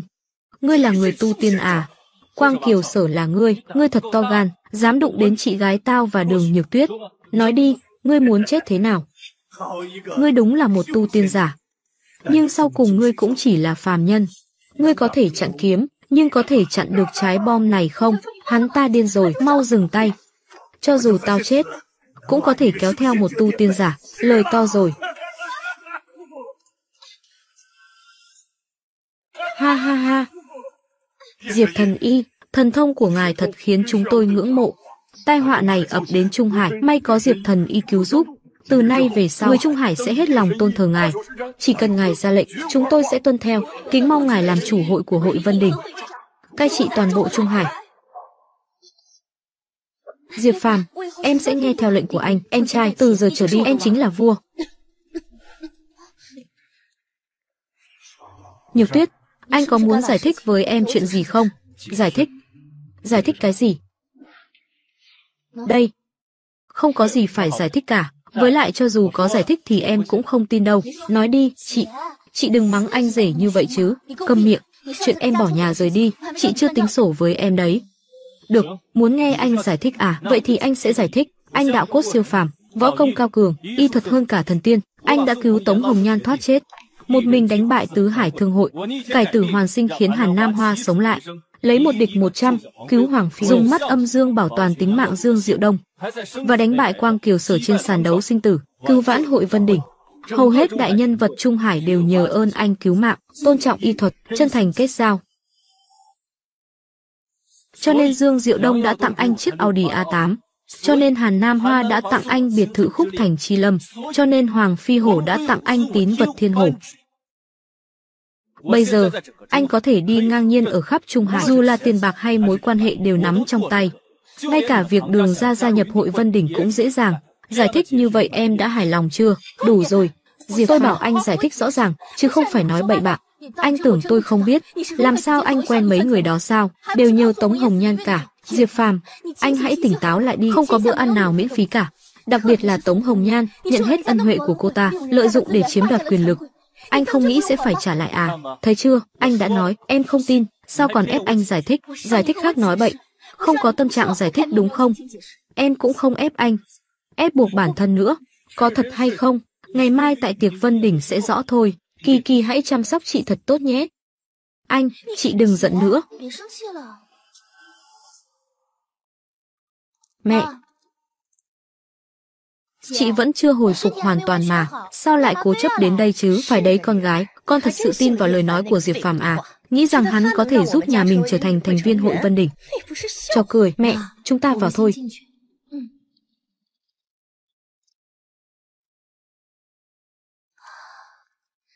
Anh rể đâu sao không thấy anh rể? Đây là tiệc cung điện của hội Vân đỉnh đấy. Tiệc cao cấp nhất ở Trung Hải không phải con mèo hay con chó nào đó cũng vào được đâu. Các người may mắn nhờ vào triệu gia chúng tôi mới vào được đấy. Còn Diệp Phàm thì loại vô dụng đó chỉ xứng để ở ngoài hít gió Tây Bắc thôi. Thôi nào, đừng nói nữa. Các vị khách quý, tiếp theo, Chủ tịch Hội Vân Đỉnh sẽ công bố. Thành viên thứ 6 của Hội Vân Đỉnh, tài thần thứ 3 của Trung Hải. Cái gì, Hội Vân Đỉnh thật sự có chủ tịch à? Làm sao có thể chứ? Nhị hổ tam tài thần này. Bề ngoài có vẻ đoàn kết, nhưng thực chất lại đối đầu với nhau.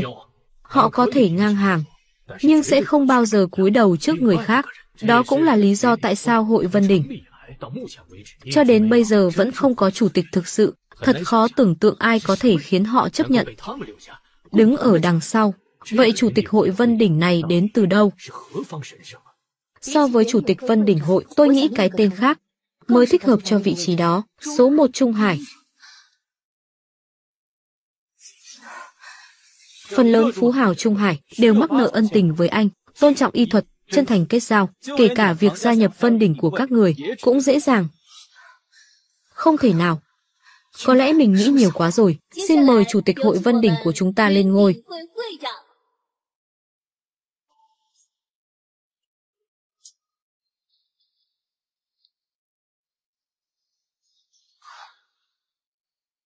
anh đã thực hiện lời hứa của mình.